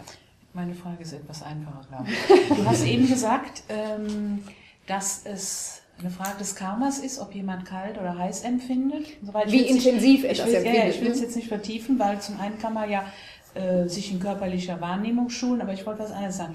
Oder möchte es anders irgendwie. So, ich sag's mal so. Wenn jetzt, angenommen, wir verteilen jetzt hier ein paar Paprikaschoten und der eine empfindet das Capsicain so, dass es ihm vom Stuhl haut. Mhm. Und wenn jetzt hier Tibeter sitzen würden, die könnten 10 Schoten oder 20 essen, mhm. wären glücklich. Das heißt, ich kann das, würde es gar nicht äh, aufnehmen. Ich würde wahrscheinlich gleich ähm, ja, alle aber das muss jetzt nichts mit Karma ja, nein, zu tun ja, nee, haben. Wollte, ne? Ich wollte das ja nochmal, ähm, ja, ja, so ja. Mhm. weil das kann es ja nicht sein. Ich nein, meine, es nein, kann nein. natürlich Karma sein, dass ich jetzt Paprikaschoten mitgebracht habe, aber irgendwie... Nein, nein, nein. Ja. Karma schlägt sich ja immer in, in Erfahrung von Glück oder Leid nieder. Ne? Und ähm, wenn wir hier im Raum sitzen, die Heizung wird aufgedreht und der eine leidet darunter und ach, ich kann hier nicht mehr sitzen, ihr müsst mal die Heizung, das Fenster auf und wird schon wütend deswegen und so weiter, weil er so leidet und der andere sagt doch, na Gott, mir ist auch ein bisschen warm, aber ich finde das, jetzt nicht so schlimm. Ne? Empfindung im Körper, also ich will das jetzt nicht mit Karma. Ja, aber so, äh, dem einen ist es, also das ist ein Zeichen, das, das steht auch wirklich so in den Texten, also diejenigen, die äh, gutes Karma haben, die leiden überhaupt nicht unter diesem okay, Kälte- und Hitzesagen. Ja, das, ne? das Leiden, ja, das Leiden ist gemeint. Ja, nicht die Empfindung, äh, aber das darunter Leiden, empfinden tun sie alle ähnlich, aber das Leiden darunter ist eben sehr nee, abgeschwächt. Dann. unterschiedlich, weil die Körper sind ja Ja, wir, wir, sind, sind, wir sind alle sowieso völlig unterschiedlich. Das muss man dazu sagen. Deshalb, wie gesagt, heißt es ja auch, das ist auch etwas, was zum Ich-Verständnis absolut dazugehört, dass man nicht die drei Arten des Stolzes entwickeln soll den Stolz, dass andere einem sowas von überlegen sind und man der arme Wurm ist, der zu nichts fähig ist. Dann den Stolz, ähm, dass man den anderen überlegen sei und dann noch den Stolz, dass man den anderen gleichwertig oder gleich sei. Den Stolz soll man auch nicht haben. Das bleibt dann Naja, ist, damit ist gemeint, das ist gemeint, gemeint ist eben, wir sind alle sehr unterschiedlich. Wir können uns überhaupt nicht mit irgendjemandem anders wirklich vergleichen. Ne? ne? Eben, man, also vergleichen und werten ist Schwachsinn, weil wir alle so unterschiedlich sind mit so vielen ganz, ganz tausend Millionen unterschiedlichen Ursachen und äh, Wirkungen, die in uns zum Tragen kommen und die unsere Entwicklung prägen, dass es einfach lächerlich ist, aus der Sicht eines Erleuchteten, uns miteinander irgendwie in ein Ranking zu begeben. Also das ja, ist stolz. Gleich bin ich besser als der, wie schlechter. Ja, genau. Und das macht man den lieben langen Tag. Das und äh, Zustand unserer Gesellschaft ist. Ne? Ja. Mehr, ja. nee, ist es ist tatsächlich sehr befreiend, wenn man das so sieht. Ja. Auf, genau das zu machen. Ja, ja, ja, natürlich. Da gibt es die Geschichte von ähm, ähm, dem ähm, Meditierenden, der in bitterer Kälte eigentlich meditiert, aber sich da nicht verhaftet und nicht verkrampft. Na, der kann Tummo. Also das, ähm, also das ist, ist das dann ein gutes Karma, das einen mich befähigt, über also Nö, der Dinge hat so, so äh, Tummo praktiziert. Tapas sozusagen, der hat innere Hitze. Äh, also ah, es gibt bestimmte, okay. Medi also sagen wir mal, die, die fortgeschrittenen äh, Meditierenden, die können ja mit diesen feinstofflichen äh, Elementen und Energien in ihrem Körper, die können die kontrollierend quasi führen. Mhm. Und ein Abfallprodukt bei einer bestimmten Meditationsform in dieser Art und Weise ist Hitze. Und äh, das ist ein Abfallprodukt. Das ist nicht äh, das, was man primär eigentlich anpeilt, sondern in diesem Chakrensystem stellt man ja immer vor, in der Mitte diesen Zentralkanal, die Sushumna und rechts und links Pingala und Ida. Und äh, der Witz ist eigentlich, dass man die Winde, die Prana-Ströme in diesen Seiten-Nadis, Pingala und Ida, dass man die unten zusammenführt. Das ist da unten bei dem Chakra, einem geheimen Ort, dass man die da in den Zentralkanal bringt und zum Aufsteigen bringt. Das habe ich letztes Mal. Ja, genau. Also das ist so immer so das Hauptziel der Yogis, ob Hindus oder Buddhisten. Äh, darum geht's. Da sind wir noch meilenweit von entfernt, weil wir einfach nicht so subtil mit unseren inneren Kräften aber das ist ja, dass man die gedanklich führen muss. Alle konzentrative Meditation führt ja dahin, dass man das irgendwann kann. Und es wird auch nicht behauptet, dass die unbedingt da alle so liegen, sondern man meditiert da rein. Man schafft geistig diese Kräfte und diese Energien, äh, dass die diese Bahn nehmen. Also da gibt es ganz unterschiedliche Aussagen davon. Tatsächlich aber, hm, wenn man Herzchakra, das ist ja hier, wie wir auch schon in den Upanishaden gesehen haben, da wird das ja alles schon angedeutet. Also diese Dinge haben eine lange Tradition, da muss was dran sein. Und äh, ich meine, Tomo-Praktizierende gibt es ja auch heute noch. Ne? Ist ein, heißt offensichtlich ein Abfallprodukt. Also äh, der Körper ist ja in der Lage, seine Körper... Die den ganzen hier den Kanal hoch, oder?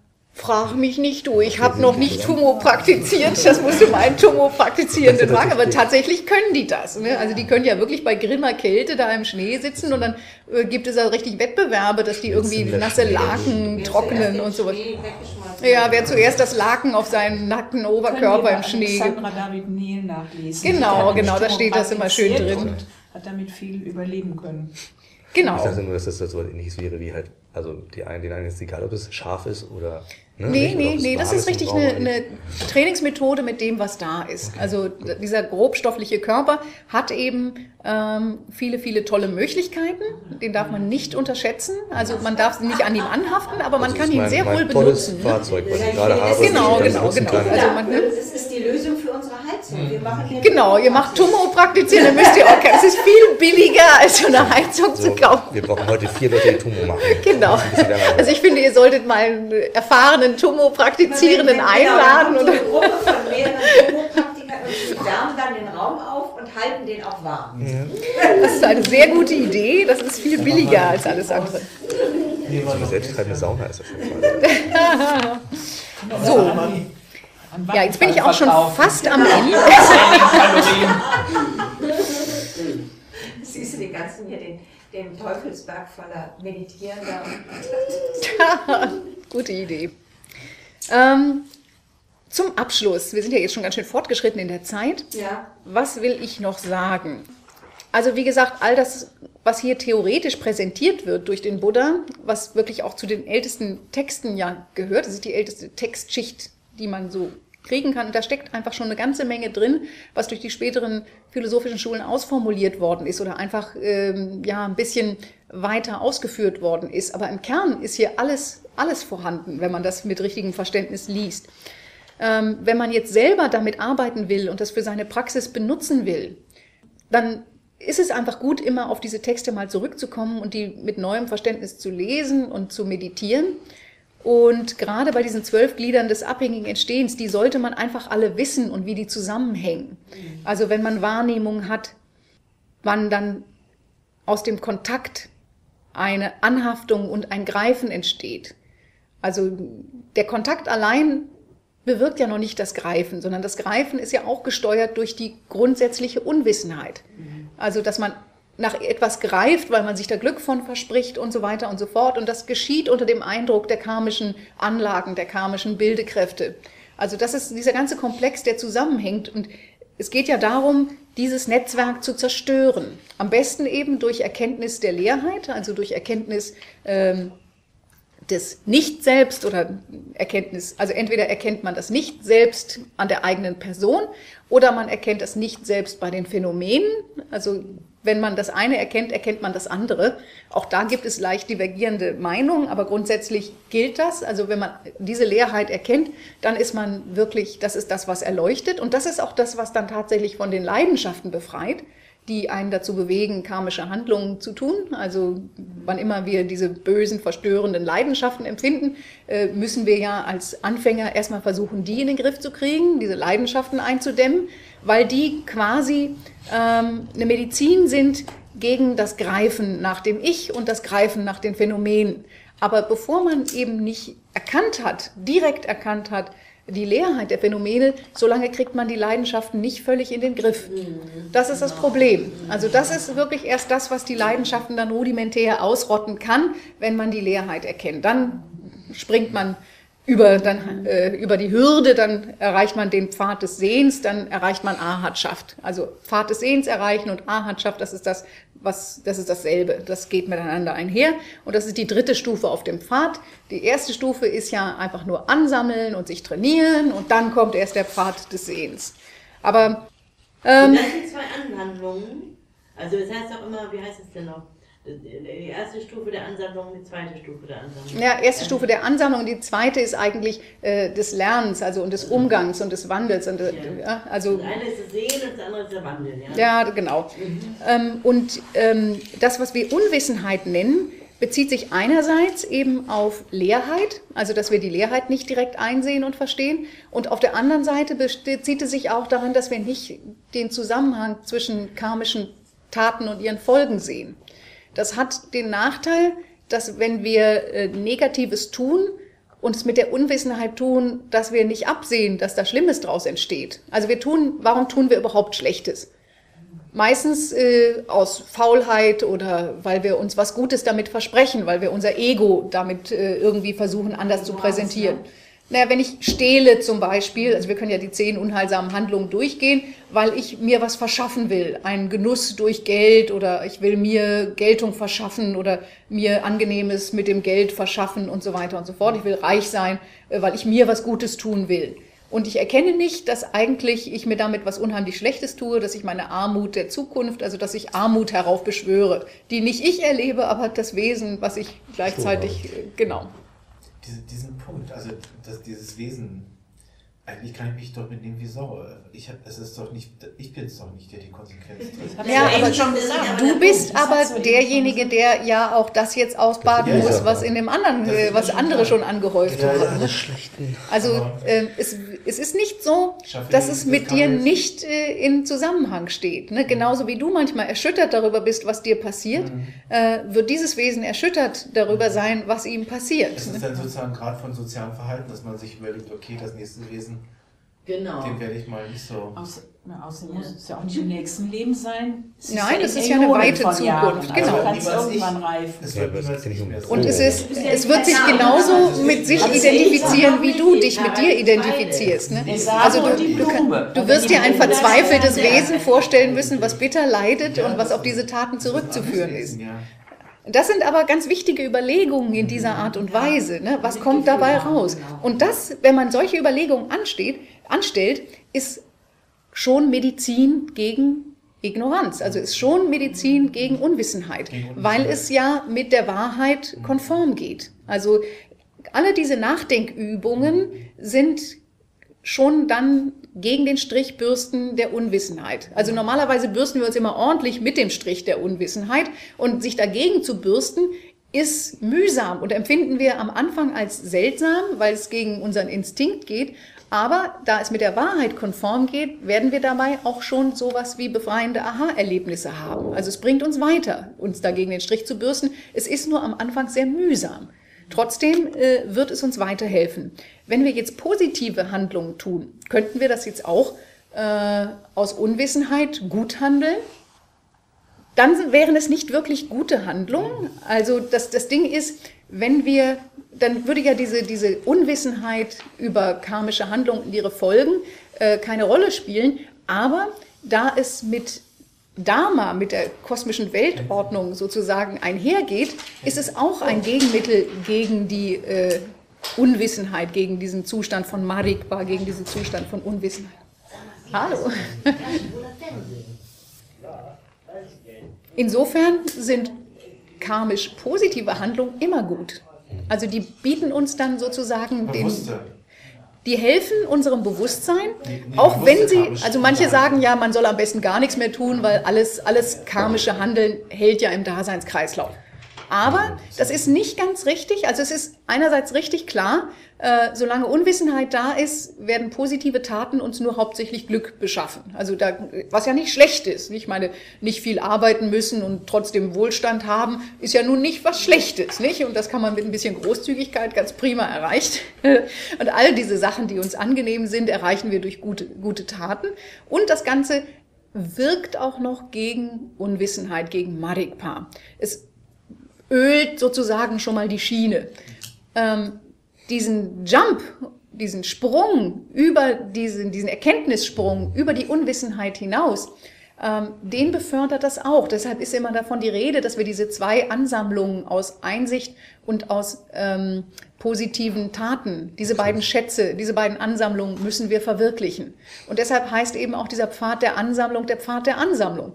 Genau das muss da angesammelt werden. Was muss auf diesem ersten Pfad, den wir alle noch nicht erreicht haben, und das heißt, ich kann nur für mich sprechen, den ich leider noch nicht erreicht habe, diesen Pfad der Ansammlung, der ist schon mühsam zusammenzubringen. Also man braucht eben haufenweise gutes Karma aus guten Taten, altruistisch motivierten Taten und Einsicht, Übung in Weisheit. Also das ist das, was angesammelt werden muss.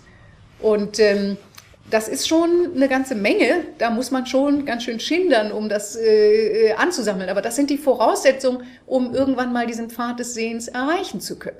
Also deshalb ist es ganz wichtig, dass man diese Stufen und Pfade gut kennt und weiß, was womit gemeint ist.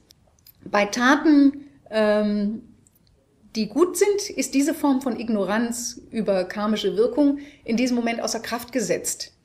Die ist normalerweise behindernd, wenn man äh, aus Unwissenheit schlechte Taten tut auch wenn man irgendwie grob das Gefühl hat, ja, es ist keine gute Tat. Man weiß nicht so richtig, warum es eigentlich keine gute Tat ist. Man hat darüber nie nachgedacht. Man hat aber doch ein Gefühl für Anstand. Das hat ja der Kosmos einem eingewoben, dass man schon irgendwie sowas wie, äh, wie ein Bewusstsein dafür hat. Ähm, das Töten von Nachbarn aus Habgier nicht so richtig gut ist. dass man also wirklich äh, eigentlich doch eher mit der Gemeinschaft sein möchte man kann nicht gegen seine eigene Natur immer verstoßen. Es ist leidvoll. Also man züchtet auch in diesem Leben damit schon sein eigenes Leid und verstärkt die Unwissenheit. Wenn man das Gegenteil tut, auch ohne großes Bewusstsein, kommt man automatisch zu Erkenntnissen. Also positives Karma ansammeln führt automatisch zu Erkenntnissen. Das ist äh, auch so ein großer Vorteil daran. Das haben Sie dann an Herrn Martin im Interview mal gesagt, dafür, dass wenn man halt das mhm. praktiziert, mhm man sich dabei auch noch gleichzeitig besser fühlt. Ja. Und das ist ja der Verstärker, der mir dann verständlich macht, warum ich das tue, weil ich genau. mich damit besser fühle. Ganz und dann genau. wird es zum Selbstläufer und das Verständnis verändert sich auch. Insofern bringt sich eben durch gute Taten die Lehre selber zur Reife. Also man muss nicht sagen, ich bin so dumm, wie soll ich denn das packen, das ist alles so kompliziert. Tu einfach Gutes und äh, übe und beweg dich in der Materie und dann wirst du auf jeden Fall Fortschritte machen. Und man hat ja sehr viel Zeit. Also es ist ja, man muss natürlich diese kostbare Menschengeburt nutzen, aber äh, man kann davon ausgehen, dass wenn man richtig praktiziert, man auch wieder eine kriegt. Es ist schwer, aber äh, tatsächlich, wenn man das macht und wenn man Zufluchtnahme, das ist ja der Sinn der Zufluchtnahme, Gelübde, dass wenn man die hält, schließt das die Tür zu den niederen Bereichen. Das heißt, dass man auf jeden Fall eine höhere Wiedergeburt im Menschenbereich oder höher äh, die Folge ist davon. Und wenn nicht, dann dauert es halt einfach ein bisschen länger. Ja, das wäre schon blöd. Dann hätte man schon einiges nicht richtig gemacht, hätte man nicht richtig praktiziert. Zufluchtnahme, das kriegt man hin, Leute. und die Gelübde entsprechend halten. Aber gut, diese Dinge muss man wissen. Und ähm, die Hauptignoranz, eben diese, dieses Hauptzersprengen, wie kann man das überhaupt? Hat man diese Freiheit, dass man ähm, gegen die Unwissenheit angehen kann, mit der man ja instinkthaft geboren ist? Und die wirklich schwer auszumerzen ist, also dieses Ego-Greifen ist wirklich, wirklich schwer auszumerzen. Das ist das Tolle eben an der Menschengeburt, dass wir das haben, also dass wir diese Intelligenz haben. Leider haben wir eben auch sehr große Macht, Schlechtes zu tun als Mensch. Also ein Tier kann nur in gewissem Rahmen grausam und böse sein, aber ein Mensch kann das in nahezu unbegrenzter Form. Aber das Umgekehrte ist eben auch richtig. Also ein Mensch kann auch in unbegrenzter Form wirklich sehr, sehr gut sein. Also wir müssen uns dieser Macht total bewusst sein. Und äh, diese Macht ist umso mächtiger, als je selbstloser wir unser Ich erkennen. So, das war ein gutes Schlusswort. also nehmt euer Leben nicht persönlich. nicht zu persönlich. Jetzt, äh, und zwar auf der umgekehrten Seite bei der Mandala-Darbringung, ab dem Ich ja? Das ist so auf der Hälfte der Seite irgendwie. Ah ja, ich bringe ja? rein. Hm? Ich bringe dieses reine, die Sinne erfreuende Universum dem wunderbaren und hervorragenden geistigen Lehrern dar. Euch, meinen gütigen, gegenwärtigen Lehrern und denen der Überlieferungslinie. Besonders euch, mein Lehrer, der ihr von edler Wesensart seid, euch Überwinder und großen Vajra-Halter, Zusammen mit der Versammlung der Gottheiten und ihrem Gefolge bitte ich, nehmt es aus Mitgefühl an, zum Wohle für alle Lebewesen, und indem ihr es annehmt, bitte segnet alle Lebewesen unsere Mütter und mich mit eurem großen Mitgefühl. Dieses Fundament mit Duftrauch, Safranwasser und Blumen versehen, mit dem Weltberg Mero, den vier Kontinenten, Sonne und Mond geschmückt, überreiche ich als vorgestelltes Buddhaland mögen sich alle Wesen an diesem Rheinland erfreuen. Auf die Lehre des unübertroffenen Buddha zu treffen, geschieht durch die Güte des geistigen Lehrers. Daher widme ich das Verdienst allen Lebewesen, mögen sie ohne Ausnahme die Fürsorge durch einen reinen, heilsamen Freund erfahren. Idam Guru Ratna Mandalakam Niryatayami.